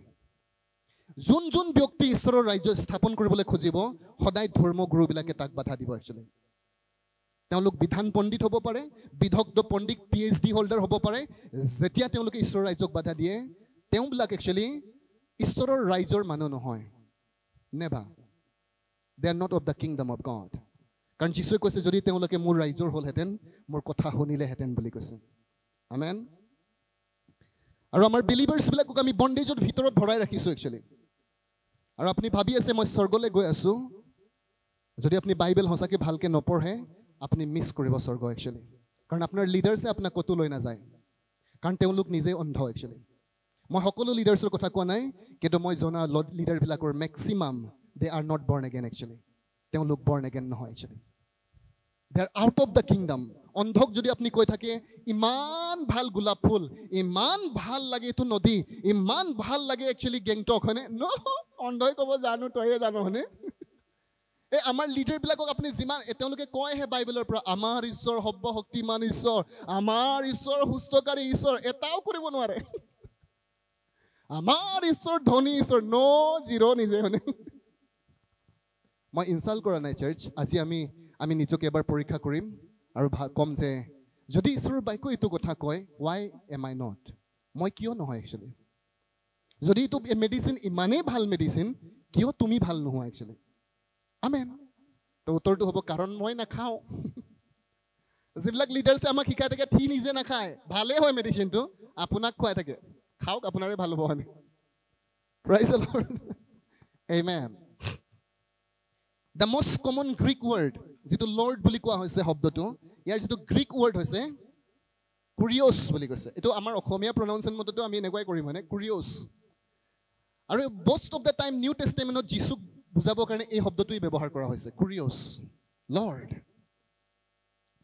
আৰু ইয়াৰ অৰ্থটো হৈছে one who possess ultimate power and authority বুলি কৈছে। অৰ্থাৎ যাৰ হাতত আল্টিমেট একমাত্ৰ ক্ষমতা আছে অৰ মাষ্টাৰ বুলি কৈছে বা মালিক বুলি কৈছে। ইয়াৰ অৰ্থটো হৈছে মাষ্টাৰ লৰ্ড মানে মাষ্টাৰ সকলো কম লৰ্ড মানে মাষ্টাৰ মালিক হালেলুয়া অল্ড টেষ্টেমেণ্টত যিমানবাৰ লৰ্ড শব্দটো ঈশ্বৰক ব্যৱহাৰ কৰা হৈছে নতুন টেষ্টেমেণ্টত প্ৰতিটো শব্দ যীশুৰ কাৰণে ব্যৱহাৰ কৰা হৈছে one of the most common বুলি কৈছে হিব্ৰু ৱৰ্ড লৰ্ড শব্দটো ব্যৱহাৰ কৰিবৰ কাৰণে আমি যেতিয়া অল্ড টেষ্টিমেণ্টত যাওঁ কাৰণ এইটো ইব্ৰী ভাষাত লিখা হৈছিলে আৰু এই ইব্ৰী শব্দটো আছিলে এডনাই সকলো কম এডনাই অৰ্থটো হৈছে লৰ্ড লৰ্ড ইয়াৰ অৰ্থটো হৈছে মালিক। অনাৰ মালিক মানে অনাৰ মালিক স্বত্ব আৰু জিউইছবিলাকৰ এটা তেওঁলোকৰ একচুৱেলি তেওঁলোকে বৰ ঈশ্বৰৰ নামটো বৰ সন্মানেৰে লয় একচুৱেলি জিউইছ ট্ৰেডিশ্যনত কাৰণ টেন কামাণ্ডমেণ্টৰ তৃতীয় নম্বৰ কামাণ্ডমেণ্টটো তিন নম্বৰ যিটো কামাণ্ডমেণ্ট হয় তাত লিখা আছে তোমালোকৰ ঈশ্বৰৰ নাম অনৰ্থকভাৱে নল'বা। আৰু সেইকাৰণে গ্ৰীকসকল জিউইছসকলে ঈশ্বৰক য়াৱে বুলি কয় একচুৱেলি য়াৱে অ'কে আৰু ইয়াক যদি ডিফিকাল্ট হয় ইয়াৰ একজেক্ট মিনিংটো আনিবৰ কাৰণে হ'লেও ইয়াৰ অৰ্থটো এনেকুৱাই হয় মালিক একচুৱেলি য়াৱে মানে মালিক। আৰু এই নামটোকে তেওঁলোকে চিধা চিধিকে নলয় য়াৱে বুলি তেওঁলোকে নকয় একচুৱেলি কাৰণ তেওঁলোকে ভয় খায় যে আমি তিনি নম্বৰ কামাণ্ডমেণ্টটো ভয় ভংগ কৰিম নেকি কেনেবাকৈ। আৰু সেইকাৰণে তেওঁলোকে তাৰ এটা অল্টাৰনেটিভ ৱৰ্ড এডনাই ব্যৱহাৰ কৰে একচুৱেলি যে লৰ্ড এডনাই মোৰ মালিক বুলি কৈছে একচুৱেলি হালে লুইয়া তো যীশু কোন হয়? আমাৰ মালিক হয় একচুৱেলি আৰু যদি আপুনি যীশুক মালিক হিচাপে গ্ৰহণ নকৰে you are not save actually আপুনি ছেভ হোৱা নাই। আপুনি পৰিত্ৰাণ পোৱাই নাই actually you must be born again and accept him as a Lord Lord হিচাপে গ্ৰহণ কৰিব লাগিব মালিক হিচাপে গ্ৰহণ কৰিব লাগিব then only you will be saved actually amen okay আৰু এভৰি টাইম জিউছবিলাকে সদায় ৰাতিপুৱা বুলি কৈছে। সদায় তেওঁলোকৰ আগত এইটো কথা ডিক্লেয়াৰ কৰা হৈছিলে। হে ইজৰাইল শুনা আমাৰ ঈশ্বৰ যি হোৱা একমাত্ৰ ঈশ্বৰ যি হোৱা আৰু তুমি তোমাৰ সকলো মন সকলো প্ৰাণ সকলো শক্তিৰে সৈতে নিজৰ ঈশ্বৰ যি হোৱাক প্ৰেম কৰা। আৰু আজি মই তোমাক আজ্ঞা কৰা আটাই বাক্য তোমাৰ হৃদয়ত থাকিব লাগে। দ্বিতীয় বিৱৰণ ছয় অধ্যা চাৰিৰ পৰা ছয় পদ। দ্বিতীয়নমী দ্বিতীয় বিৱৰণ ছয় অধ্যা চাৰি পাঁচ ছয় পদ। ইয়াত কৈছে যে আমাৰ ঈশ্বৰ যি হোৱা একমাত্ৰ ঈশ্বৰ যি হোৱা আৰু সেইকাৰণে তোমাৰ ঈশ্বৰ যি হোৱাক সমস্ত মনেৰে সমস্ত হৃদয়ৰে সমস্ত প্ৰাণেৰে প্ৰেম কৰিবা। আৰু মই দিয়া আটাই আজ্ঞা তোমাৰ হৃদয়ত থাকিব লাগে। সদায় ৰাতিপুৱা বুলি কৈছে। এই কথাটো জিউইছবিলাকক শুনাই দিয়া হয়। আমেন? আজি সেইকাৰণে আমি সদায় এইটো কথা কওঁ Jesus is my Lord Jesus is my Lord যিচু মোৰ মালিক হয় যিচু মোৰ মালিক হয়। That's it we're speaking actually আপুনি সেই কথাটোহে কৈ আছে তো যিচুক মালিক কোনে বনালে বাইবেলে কৈছে ফিলিপিয়া দুই অধ্যা দুই নৰ পৰা এঘাৰ পদ therefore God also' has highly exalted him Jesus বুলি কৈছে and given him the name Lord এইটো লৰ্ড নামটো প্ৰথমতে পিতৃ ঈশ্বৰৰহে আছিলে একচুৱেলি কিন্তু যেতিয়া যীশু বাধ্য হ'ল বাইবেলে কৈছে ক্ৰুচীয় মৃত্যু যাতনালৈকে নম্ৰ হৈ পেলাই নিজকে নম্ৰ কৰিলে তো ঈশ্বৰে সেইকাৰণে তেওঁলোক আটাইতকৈ ওখ পদ দিলে বুলি কৈছে। আৰু তাৰ নাম দিলে প্ৰভু। হালে লুইয়া যীশুৰ নাম আগতে প্ৰভু নাছিলে একচুৱেলি যেতিয়া তেওঁ ক্ৰুচৰ কাহিনী শেষ কৰি উদ্ধাৰৰ কৰ্ম শেষ কৰি ৰিডেমশ্যনৰ কাম শেষ কৰি যেতিয়া স্বৰ্গলৈ গ'ল বুলি কৈছে তাত এটা সম্বৰ্ধনা অনুষ্ঠান অনুষ্ঠিত কৰা হ'ল কনলিয়েল ছাৰ্ভিচ বুলি কৈছে। আৰু এই ছাৰ্ভিচত তেওঁলোকে এনজয় কৰিছে বিজয় সাব্যস্ত কৰিছে। আৰু পিতৃ ঈশ্বৰ নিজে এটা ক্ৰাউন যীশুৰ মূৰত পিন্ধাই পেলাই কৈছে you are Lord of this heaven you are Lord of this earth you are the Lord of the under earth বুলি কৈছে। স্বৰ্গ পৃথিৱী আৰু পৃথিৱীৰ তলৰ মালিক তুমি হয় বুলি কৈছে। Amen. Hallelujah praise the Lord thank you Jesus আৰু সেই কথাটোৱে দেখুওৱা হৈছে যে Jesus Christ is the Lord আৰু আমি যেতিয়া লিভিং আণ্ডাৰ দ্য লৰ্ডশ্বিপ যেতিয়া আপুনি লৰ্ডশ্বিপ মানে এজন মালিকৰ আণ্ডাৰত জীয়াই থাকে কাৰণ যীশুখ্ৰীষ্টক যদি গ্ৰহণ কৰিছে আপুনি মালিকৰ তলত থাকিবই লাগিব এইটো মেণ্টেলিটি আজি আপুনি ডেভেলপ কৰিব লাগিব যে মোৰ এজন মালিক আছে I live under a ruler and a king as a Lord মোৰ এজন মালিক আছে মই তাৰ তলত বসবাস কৰা মানুহ হয়। আৰু যদি আপুনি তাৰ তলত বাস কৰে তেতিয়াহ'লে God owns all the resources and distribute as he determines বুলি কৈছে। ইয়াত থকা সকলো সা সম্পত্তি সকলো জীৱ জন্তু সকলো পশু পক্ষী everything of the world belongs to God বুলি কৈছে। আৰু ঈশ্বৰে যাকেই যেনেকৈ দিবলৈ ইচ্ছা কৰে তেওঁ দিব পাৰে একচুৱেলি ইয়াত কোনো মালিক নাই। চাৰ্চ যেতিয়াই আপুনি যীশুক প্ৰভু বুলি কয় আৰু যদি আপুনি নিজকে মালিক বনাই থৈছে তেতিয়াহ'লে এইটো কিংডমত আপুনি থাকিব নোৱাৰে কাৰণ এটা ৰাইজত দুজন ৰজা থাকিব নোৱাৰে। এমেন আপুনি জানে যে আমাৰ চাৰ্ল প্ৰিন্স চাৰ্লছ একচুৱেলি কিয় ৰজা হ'ব নোৱাৰিলে? কাৰণ তেওঁৰ মাতৃ এলিজাবেথ মৰা নাছিল একচুৱেলি তাৰ সি তাই নমৰাটো হয় আমি একচুৱেলি ৰেচপেক্টফুলি তেওঁৰ নাম লৈছোঁ। নমৰাটোৱে তাৰ এটা মূল কাৰণ যে তেওঁ ৰজা হ'ব পৰা নাই একচুৱেলি হালেলুয়া আৰু এটা ব্যৱস্থা আছিলে যদি প্ৰিন্স চাৰ্লছক তেওঁ একচুৱেলি অন্য এখন দেশত পঠিয়ালেহেঁতেন কলনাইজ কৰিলেহেঁতেন তাত তেওঁ ৰজা হ'ব পাৰিলেহেঁতেন একচুৱেলি প্ৰাইজ দ্য লৰ্ড গতিকে আমি যীশুৰ ৰাইজত আছোঁ আৰু তাত যদি আপুনি মালিক হ'বলৈ ট্ৰাই কৰে আপোনাক অপৰাধী বুলি গণ্য কৰা হ'ব একচুৱেলি ইউ আৰ ৰিবেল্ড বুলি কৈছে। In the kingdom owners are rebelled বুলি কোৱা হৈছে।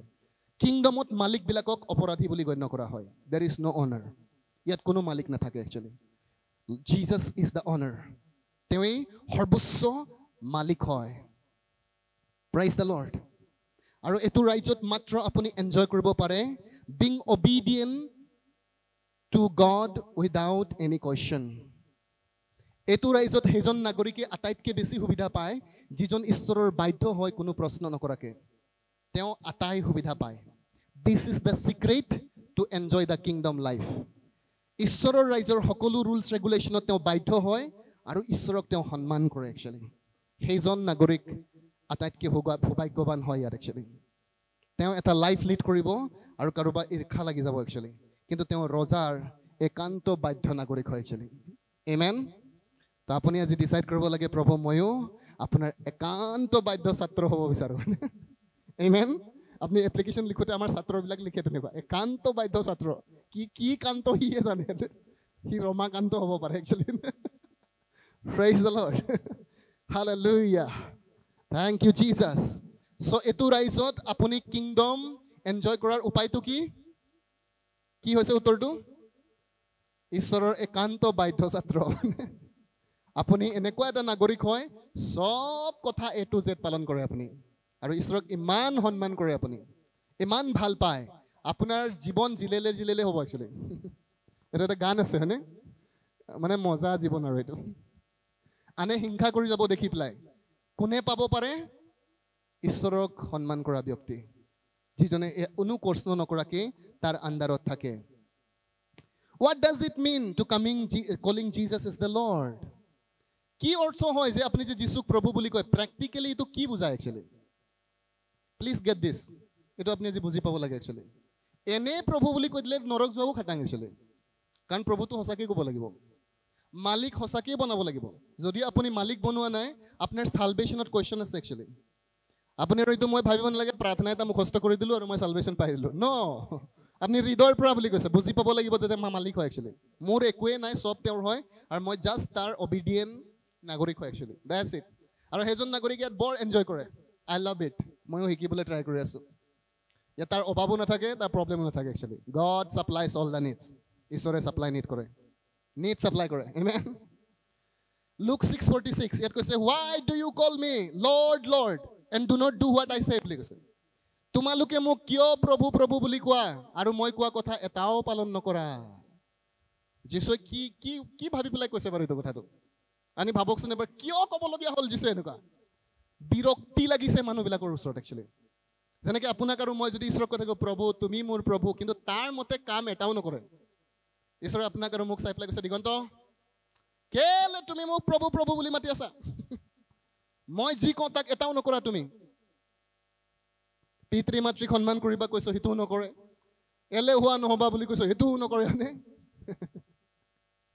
Hallelujah. Praise the Lord. গতিকে আজিৰ পৰা আপোনাৰ মোৰ লাজ লাগিব লাগিব প্ৰকৃততে যে সি সঁচাকৈ মালিক হয়নে নহয়? নে মই এনে এনে কৈ আছোঁ? বিৰাট ভাল লাগে এল অ' আৰ ডি ক'বলৈ লৰ্ড কৈছে হয়নে? ন এইটো ধেমালি শব্দ নহয় চাৰ্চ তেওঁৰ কামাণ্ডমেণ্ট যেতিয়া আপুনি পালন কৰে একচুৱেলি হালেলুয়া প্ৰথম কামাণ্ডমেণ্ট কি হয়? ঈশ্বৰৰ গ্ৰেটেষ্ট কামাণ্ডমেণ্ট সমস্ত হৃদয়ৰে সকলো কম সমস্ত হৃদয়ৰে। সমস্ত প্ৰাণেৰে সমস্ত চিতেৰে। এবাৰ মাথাত ধৰি পেলাই ক'ম প্ৰভু সহায় কৰা বুজিবলৈ। প্লিজ গেট দিছ চাৰ্চ একদম নাপাহৰিব। এইটো আপোনাৰ ঈশ্বৰৰ ফাৰ্ষ্ট আৰু গ্ৰেটেষ্ট কামাণ্ডমেণ্ট হয়। যে সমস্ত মনেৰে একদম ফুলনেছ হাণ্ড্ৰেড পাৰ্চেণ্ট আপোনাৰ বুদ্ধি দিমাগ এভৰিথিং লগাই পেলাই খালী ঈশ্বৰক আপুনি ভাল পায়।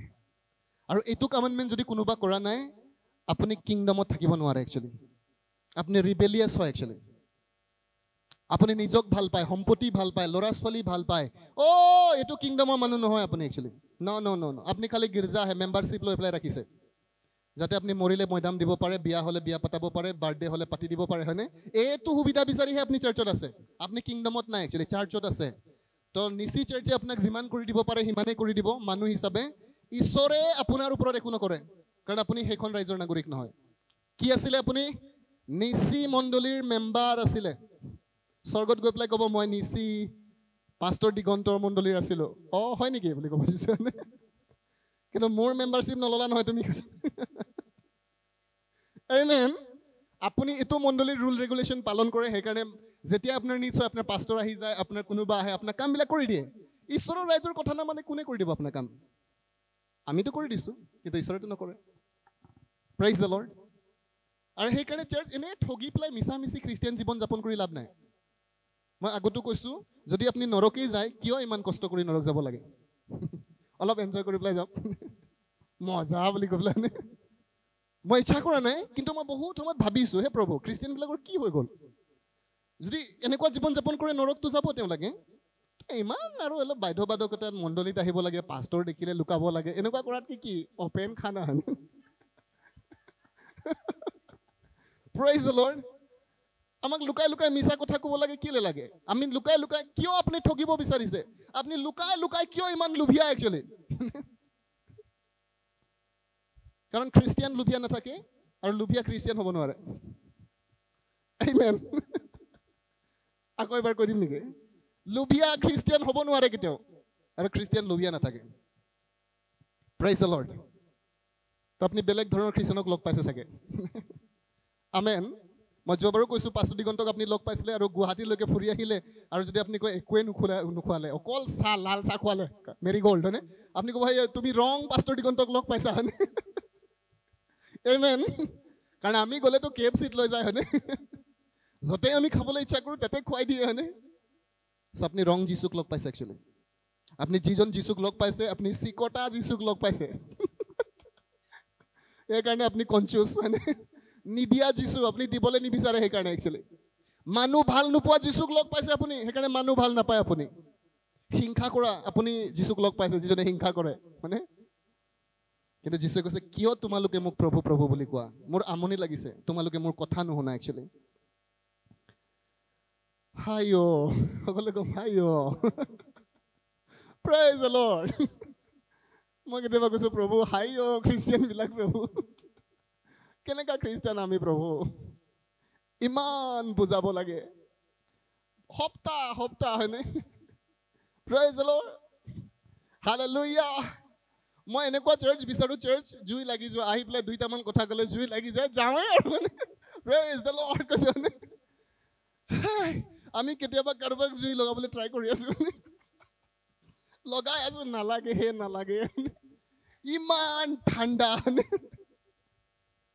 প্ৰাইজ দ্য লৰ্ড ইমানেই এলেহুৱা উঠিবই নোখোজে পিপু বুলিহে কৈছে মানে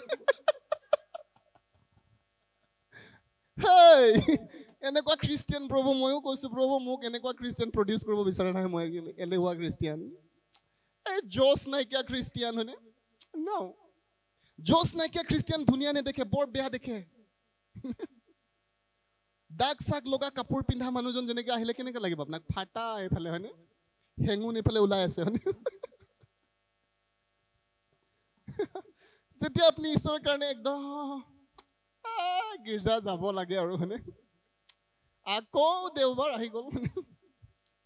ইমান দেৰি শিক্ষা দি থাকে হয়নে আপুনি হেঙুন ওলোৱা খ্ৰীষ্টিয়ান হয় একচুৱেলি বৰ বেয়া দেখে আপোনাক একচুৱেলি Amen. সকলোৱে কম হা হা হা হালেলুয়া the Lord. আপোনাৰ ওচৰজনক কওক হেমু হেঙুন চাফা কৰি আহিবা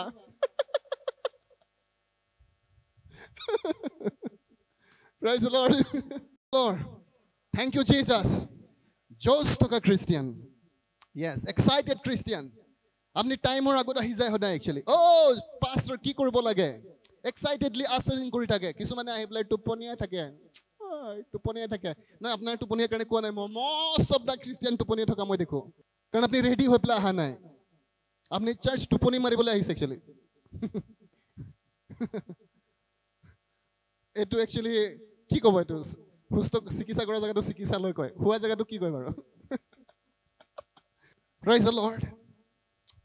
তো আমি excited Christian home church excited Christian that তো আপুনি ঈশ্বৰৰ কোনবিলাক বিষয়ত আপুনি এক্সাইটেড হয় একচুৱেলি কোনবিলাক বিষয়ত? যোনটো বিষয়ত আপুনি মনোযোগ দি থাকে। বাৰে বাৰে য'ত আপুনি লাগি থাকে এইটো বস্তুহে আপোনাক এক্সাইট কৰে। আমেন। আপুনি চাবে মদ খাই থকা মানুহবিলাক মদ খাই থাকিলে একদম ৰাতি গধূলি যদি পাৰ্টি আছে বুলি ক'লে দিনটো মৰা ন প্ৰায় তেওঁ কষ্ট কৰি থাকে একচুৱেলি কাৰণ গধূলি হ'লে খাবলৈ পাব। এইটো এবাৰ ভাবি দিলেই ভাল লাগি যায় হয়নে? আৰু জাষ্ট কেতিয়াবা তেওঁলোকৰ অৱস্থা নাথাকে মই দেখিছোঁ কাম কৰি থাকে। কি কাৰণে গধূলি মদ খাবলৈ পাব একচুৱেলি দিছ থিং আপুনি গীৰ্জাত আহিবৰ কাৰণে তেনেকুৱা এক্সাইটেড হৈ থাকে। এটলিষ্ট ইমান বুজাবলগীয়া হৈছে। মদ খোৱা উপমা দি পেলাই.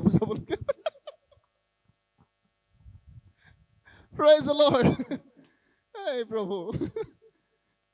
প্ৰথম পিতৰ পাঁচ এক অধ্যায় পোন্ধৰ আৰু ষোল্ল পদ। ঈশ্বৰে কৈছে যিজনে তোমালোকক আমন্ত্ৰণ কৰিলে তেওঁ পবিত্ৰ হয়। গতিকে তোমালোকে পবিত্ৰ হবা বুলি কৈছে। অ'কে পবিত্ৰ হবা একচুৱেলি হেই ঈশ্বৰে কৈছে যে হেই তোমালোকৰ বিবাহৰ বিচনা পবিত্ৰ হওক। তাৰ মানে ঈশ্বৰে কৈছে হেই এইবিলাক কাম তুমি বিয়াৰ আগত কৰিব নোৱাৰা একচুৱেলি এমেন যিচুক পোৱাৰ পিছত যিচুক জনাৰ পিছত আগত কেতিয়াবা আমাৰ জীৱনত কেতিয়াবা কিবা কাৰণ কাৰোবাৰ কিবা মিষ্টেক হ'ব পাৰে বুলি কৈছে।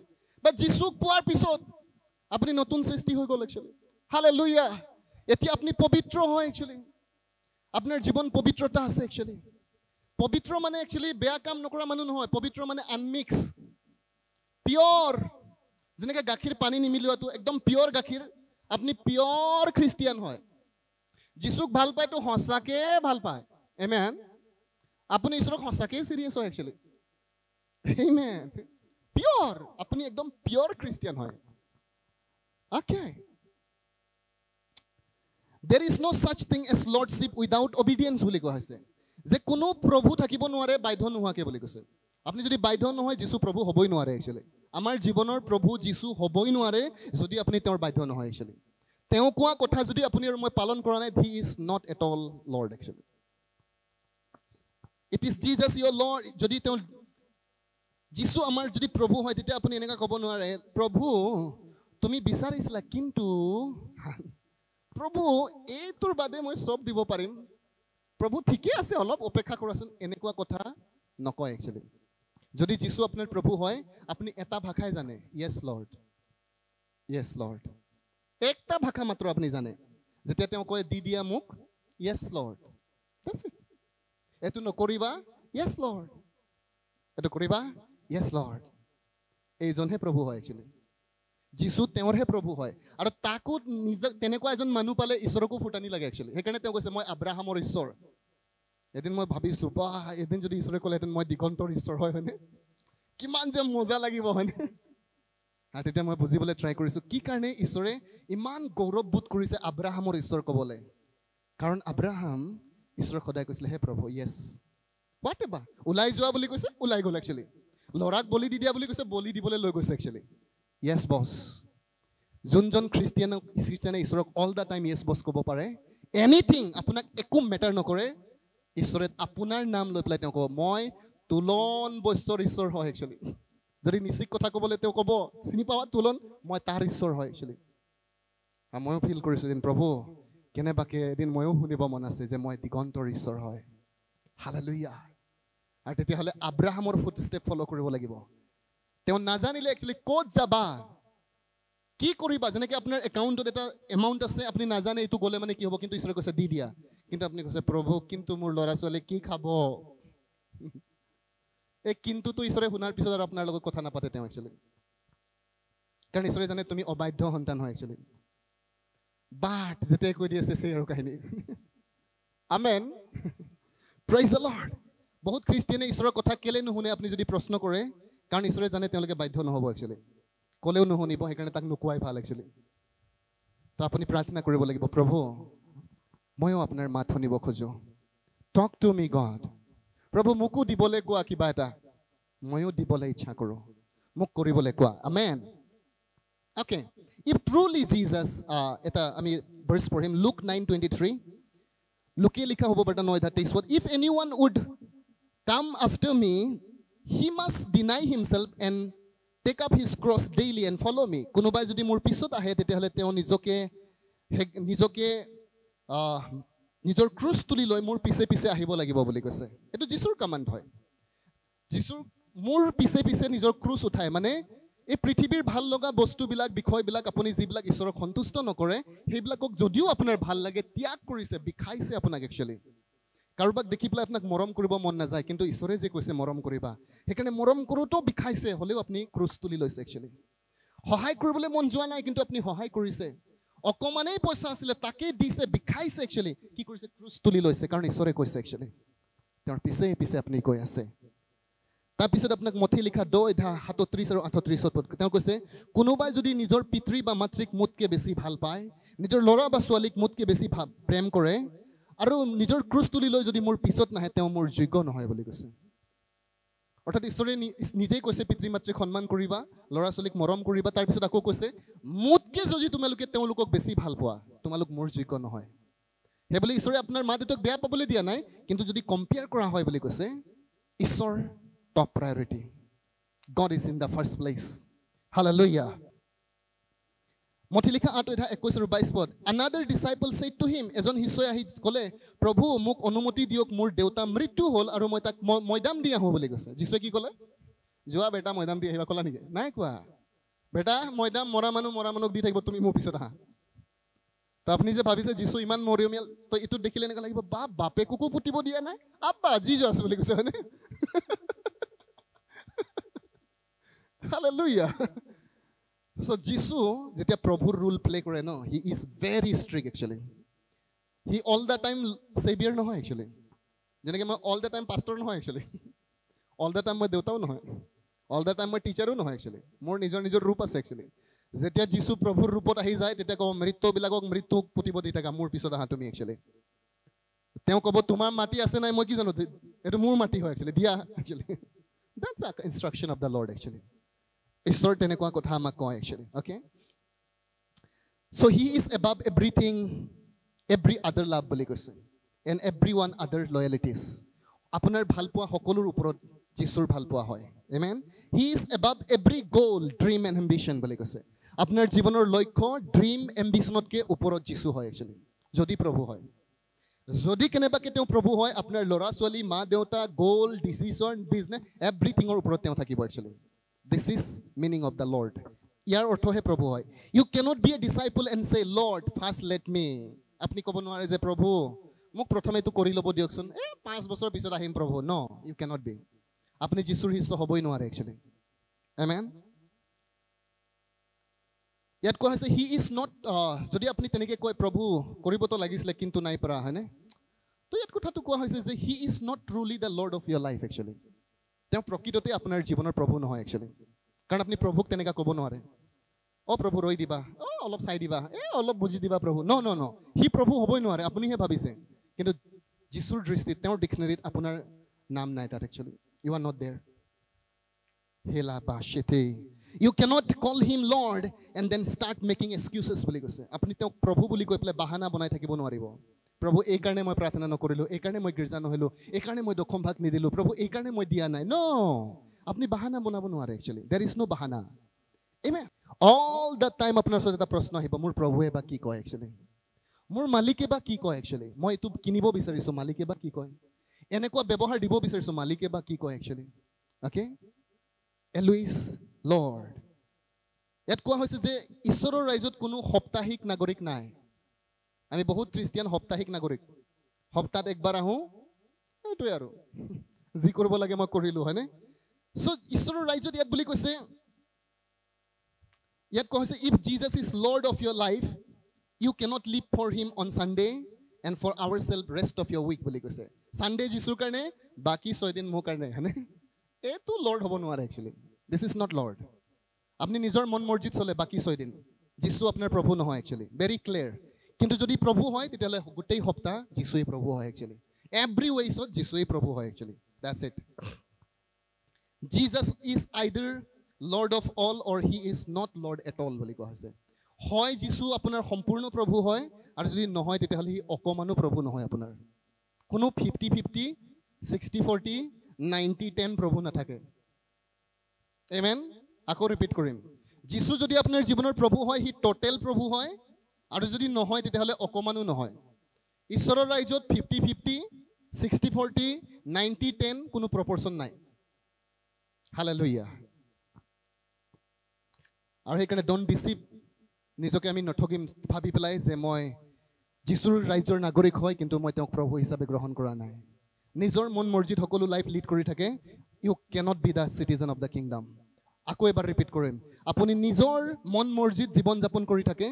নিজৰ মন মৰ্জিত আপুনি ব্যৱহাৰ দিয়ে আপোনাৰ ৱাইফক মন মৰ্জিত হাজবেণ্ডক ব্যৱহাৰ দিয়ে মন মৰ্জিত বিজনেছ কৰে মন মৰ্জিত নিজৰ ষ্টাইলত কাম কৰে no no no you can't can't আমি ঈশ্বৰৰ ৰাজ্যৰ নাগৰিক হ'বই নোৱাৰোঁ একচুৱেলি কাৰণ ঈশ্বৰৰ ৰাজ্যত যদি নাগৰিক হয় everything we will do according to the word of God সকলো আমি ঈশ্বৰৰ বাক্যৰ মতে কৰিম actually what is written Bible আপোনাৰ কনষ্টিটিউশ্যন হয় গাইডলাইন হয় তাত যদি লিখা আছে যেনেকৈ আপুনি অপিনিয়ন দি নাথাকিব বাইবেলত লিখাই আছে কেতিয়াবা ধৰ্মগুৰুবিলাক বহি পেলাই স্পেচিয়েলি কেতিয়াবা খ্ৰীষ্টিয়ান লিডাৰকো মই দেখিছোঁ তেওঁলোকে ডিবেট কৰি থাকে এবৰ্চন ৰাইট হয়নে ৰং হয়? Homosexual accepted হয় নে নহয়? তাত আমাৰ তৰ্ক কৰাৰ কোনো কাৰণ নাই আমাৰ ৰজা অলৰেডি ক'লে ৰং ইজ ৰং আমি মত দিয়াৰ কি উপায় আছে তাত actually hallelujah praise the Lord divorce in this kingdom illegal হয় একচুৱেলি এবৰ্চন ইলিগেল হয় একচুৱেলি ছেক্সুৱেল ইমৰেলিটি ইলিগেল হয় একচুৱেলি চব ইলিগেল আৰু তাত কেতিয়াবা আমি খ্ৰীষ্টিয়ান লিডাৰবিলাকে বুজাবলৈ ট্ৰাই কৰোঁ নাই আৰু কেতিয়াবা অলপ সমাজখনৰ লগত মিলি পেলাই চলিব লাগেতো হালে লইয়া ব্ৰাইবিং ঘোচ দিয়া ইলিগেল হয় একচুৱেলি ঈশ্বৰৰ ৰাজ্যত ঘোচ দিয়া অপৰাধ হয় একচুৱেলি যদি আপোনাৰ মেৰিট আছে গেট ইট একচুৱেলি পালে পাম নাপালে নাই একচুৱেলি মোৰ মেৰিটৰ মতে যাম actually never try to do it আৰু যিদিনাখন মই বুজি পালোঁ ময়ো নিজকে এইটোৱে ক'লোঁ যে লৰ্ড কেতিয়াও এইটো কাম নকৰিম actually Hallelujah. Praise the Lord. Okay. Uh, আৰু সেইকাৰণে যীশুৱে ক'লে যে repent for the kingdom of heaven is at hand তোমাৰ মেণ্টেলিটি চেঞ্জ কৰা casual mentality weekly mentality selfish mentality change কৰা আৰু ফল' ফ'ল' দ্য ক্ৰাইষ্ট খ্ৰাইষ্টক ফ'ল' কৰা living under the kingship and lordship meaning giving up all ownership mentality মালিক যিটো মনোভাৱ আছে আপোনাৰ সেইটো আপুনি এৰিব লাগিব একচুৱেলি ইয়াৰ অৰ্থ এইটো নহয় যে আপোনাৰ মাটি বিকি দিয়ক আপুনি কাম নকৰিব সম্পত্তি নুগোটাব। এইটো অৰ্থ নহয় কিন্তু অৰ্থটো হৈছে যে আপুনি মালিক নহয় একচুৱেলি যেতিয়াই ঈশ্বৰে আপোনাক ক'ব তেতিয়াই আপুনি এৰি দিব পাৰে একচুৱেলি ডেটছ ইট কাৰণ এইখন ঈশ্বৰৰ ৰাজ্য হয় আপুনি মেনেজাৰ হয়। আপোনাৰ ওচৰজনক কওক আপুনি মেনেজাৰ হয়। আপোনাৰ বেংক একাউণ্টৰ মালিক আপুনি নহয়। যীশু হয়। যদি যীশুক প্ৰভু বুলি কৈছে আৰু বিশ্বাস কৰিছে তেওঁ মোক স্বৰ্গ লৈ যাব তেতিয়াহ'লে আপোনাৰ বেংক একাউণ্টৰ মালিক তেওঁ হয় একচুৱেলি আপোনাৰ সম্পত্তিৰ মালিক তেওঁ হয় একচুৱেলি আৰু তেওঁ যেতিয়া ক'ব লেট ইট গ' আৰু যীশুৱে নিজৰ অথৰিটি এবাৰ তেওঁ দেখুৱাইছে এটা এক্সাম্পলৰ পৰা।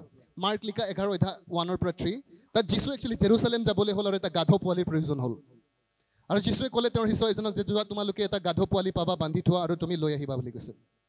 আৰু যদি কোনোবাই সোধে বুলি ক'বা মালিকক ইয়াৰ প্ৰয়োজন আছে। প্ৰাইজ দ্য লৰ্ড বাইবেলে কৈছে স্বৰ্গ আৰু পৃথিৱী ঈশ্বৰৰ হয়। স্বৰ্গ নিজ ঈশ্বৰে নিজৰ কৰি ৰাখিলে আৰু পৃথিৱী ঈশ্বৰে মনুষ্য জাতিক দিলে। হাগাই দুই অধ্যায় আঠ পদত কৈছে ইয়াত থকা সকলো জীৱ বনৰীয়া জীৱ জন্তু মোৰ হয় বুলি কৈছে। পৰ্বতত থকা সকলো জন্তু মোৰ হয় বুলি কৈছে ঈশ্বৰে।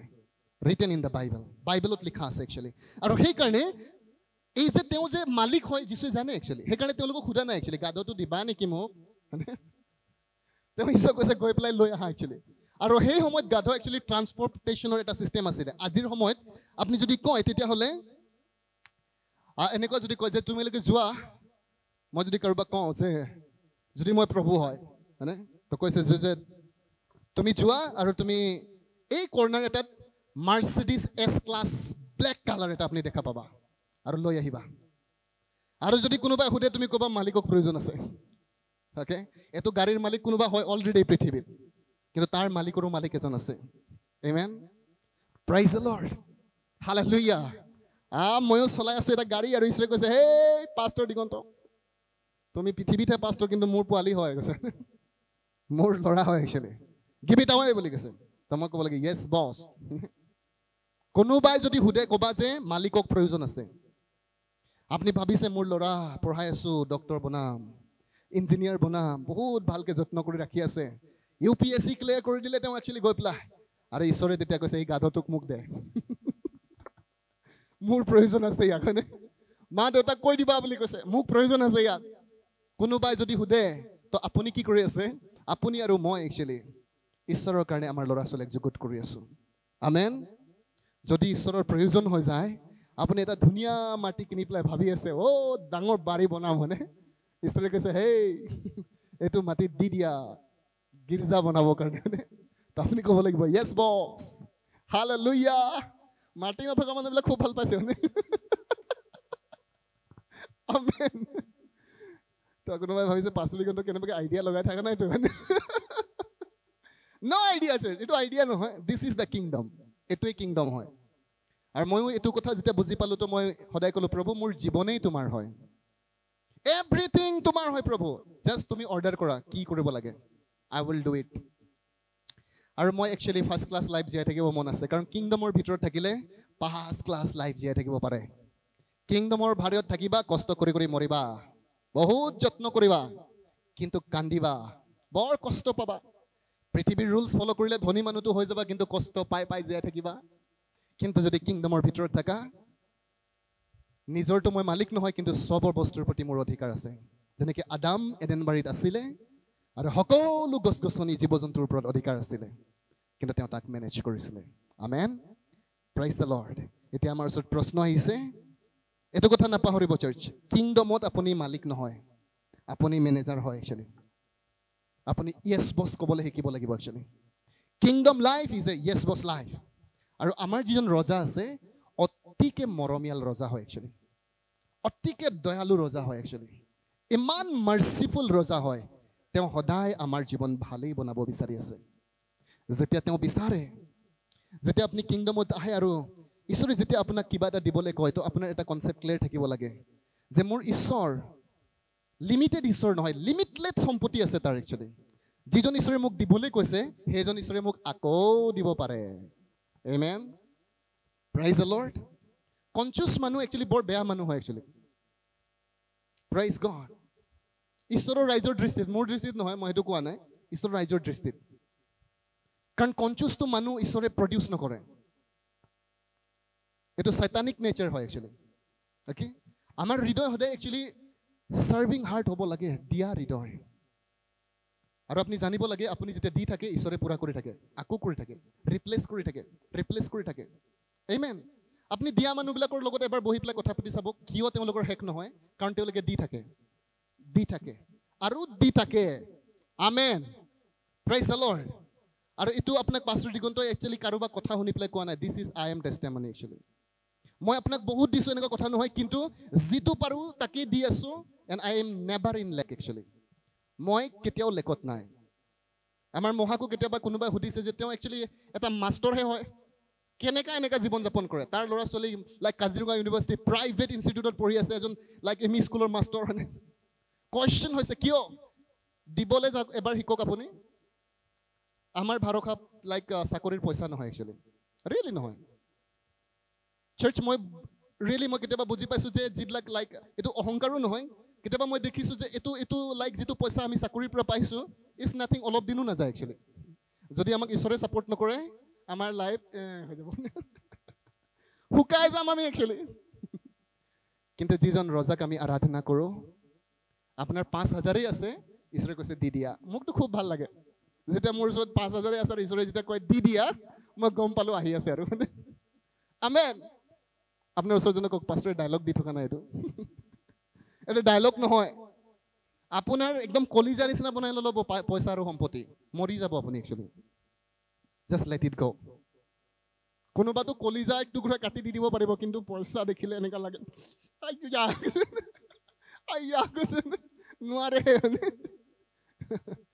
পইচাই তাৰ গতি মতি চব চেঞ্জ কৰাই দিয়ে একচুৱেলি ন ন ন চাৰ্চ ন। যিচু যদি আপোনাৰ প্ৰভু হয় তেতিয়াহ'লে everything belongs to him Jesus is the King and He is the Lord. Hakulukam, Jesus is the King and He is the Lord. Jesus is my Lord. Jesus is my Lord. Jesus tumi mur malikoy. Amen. Praise the Lord. Aho kami tiyohom.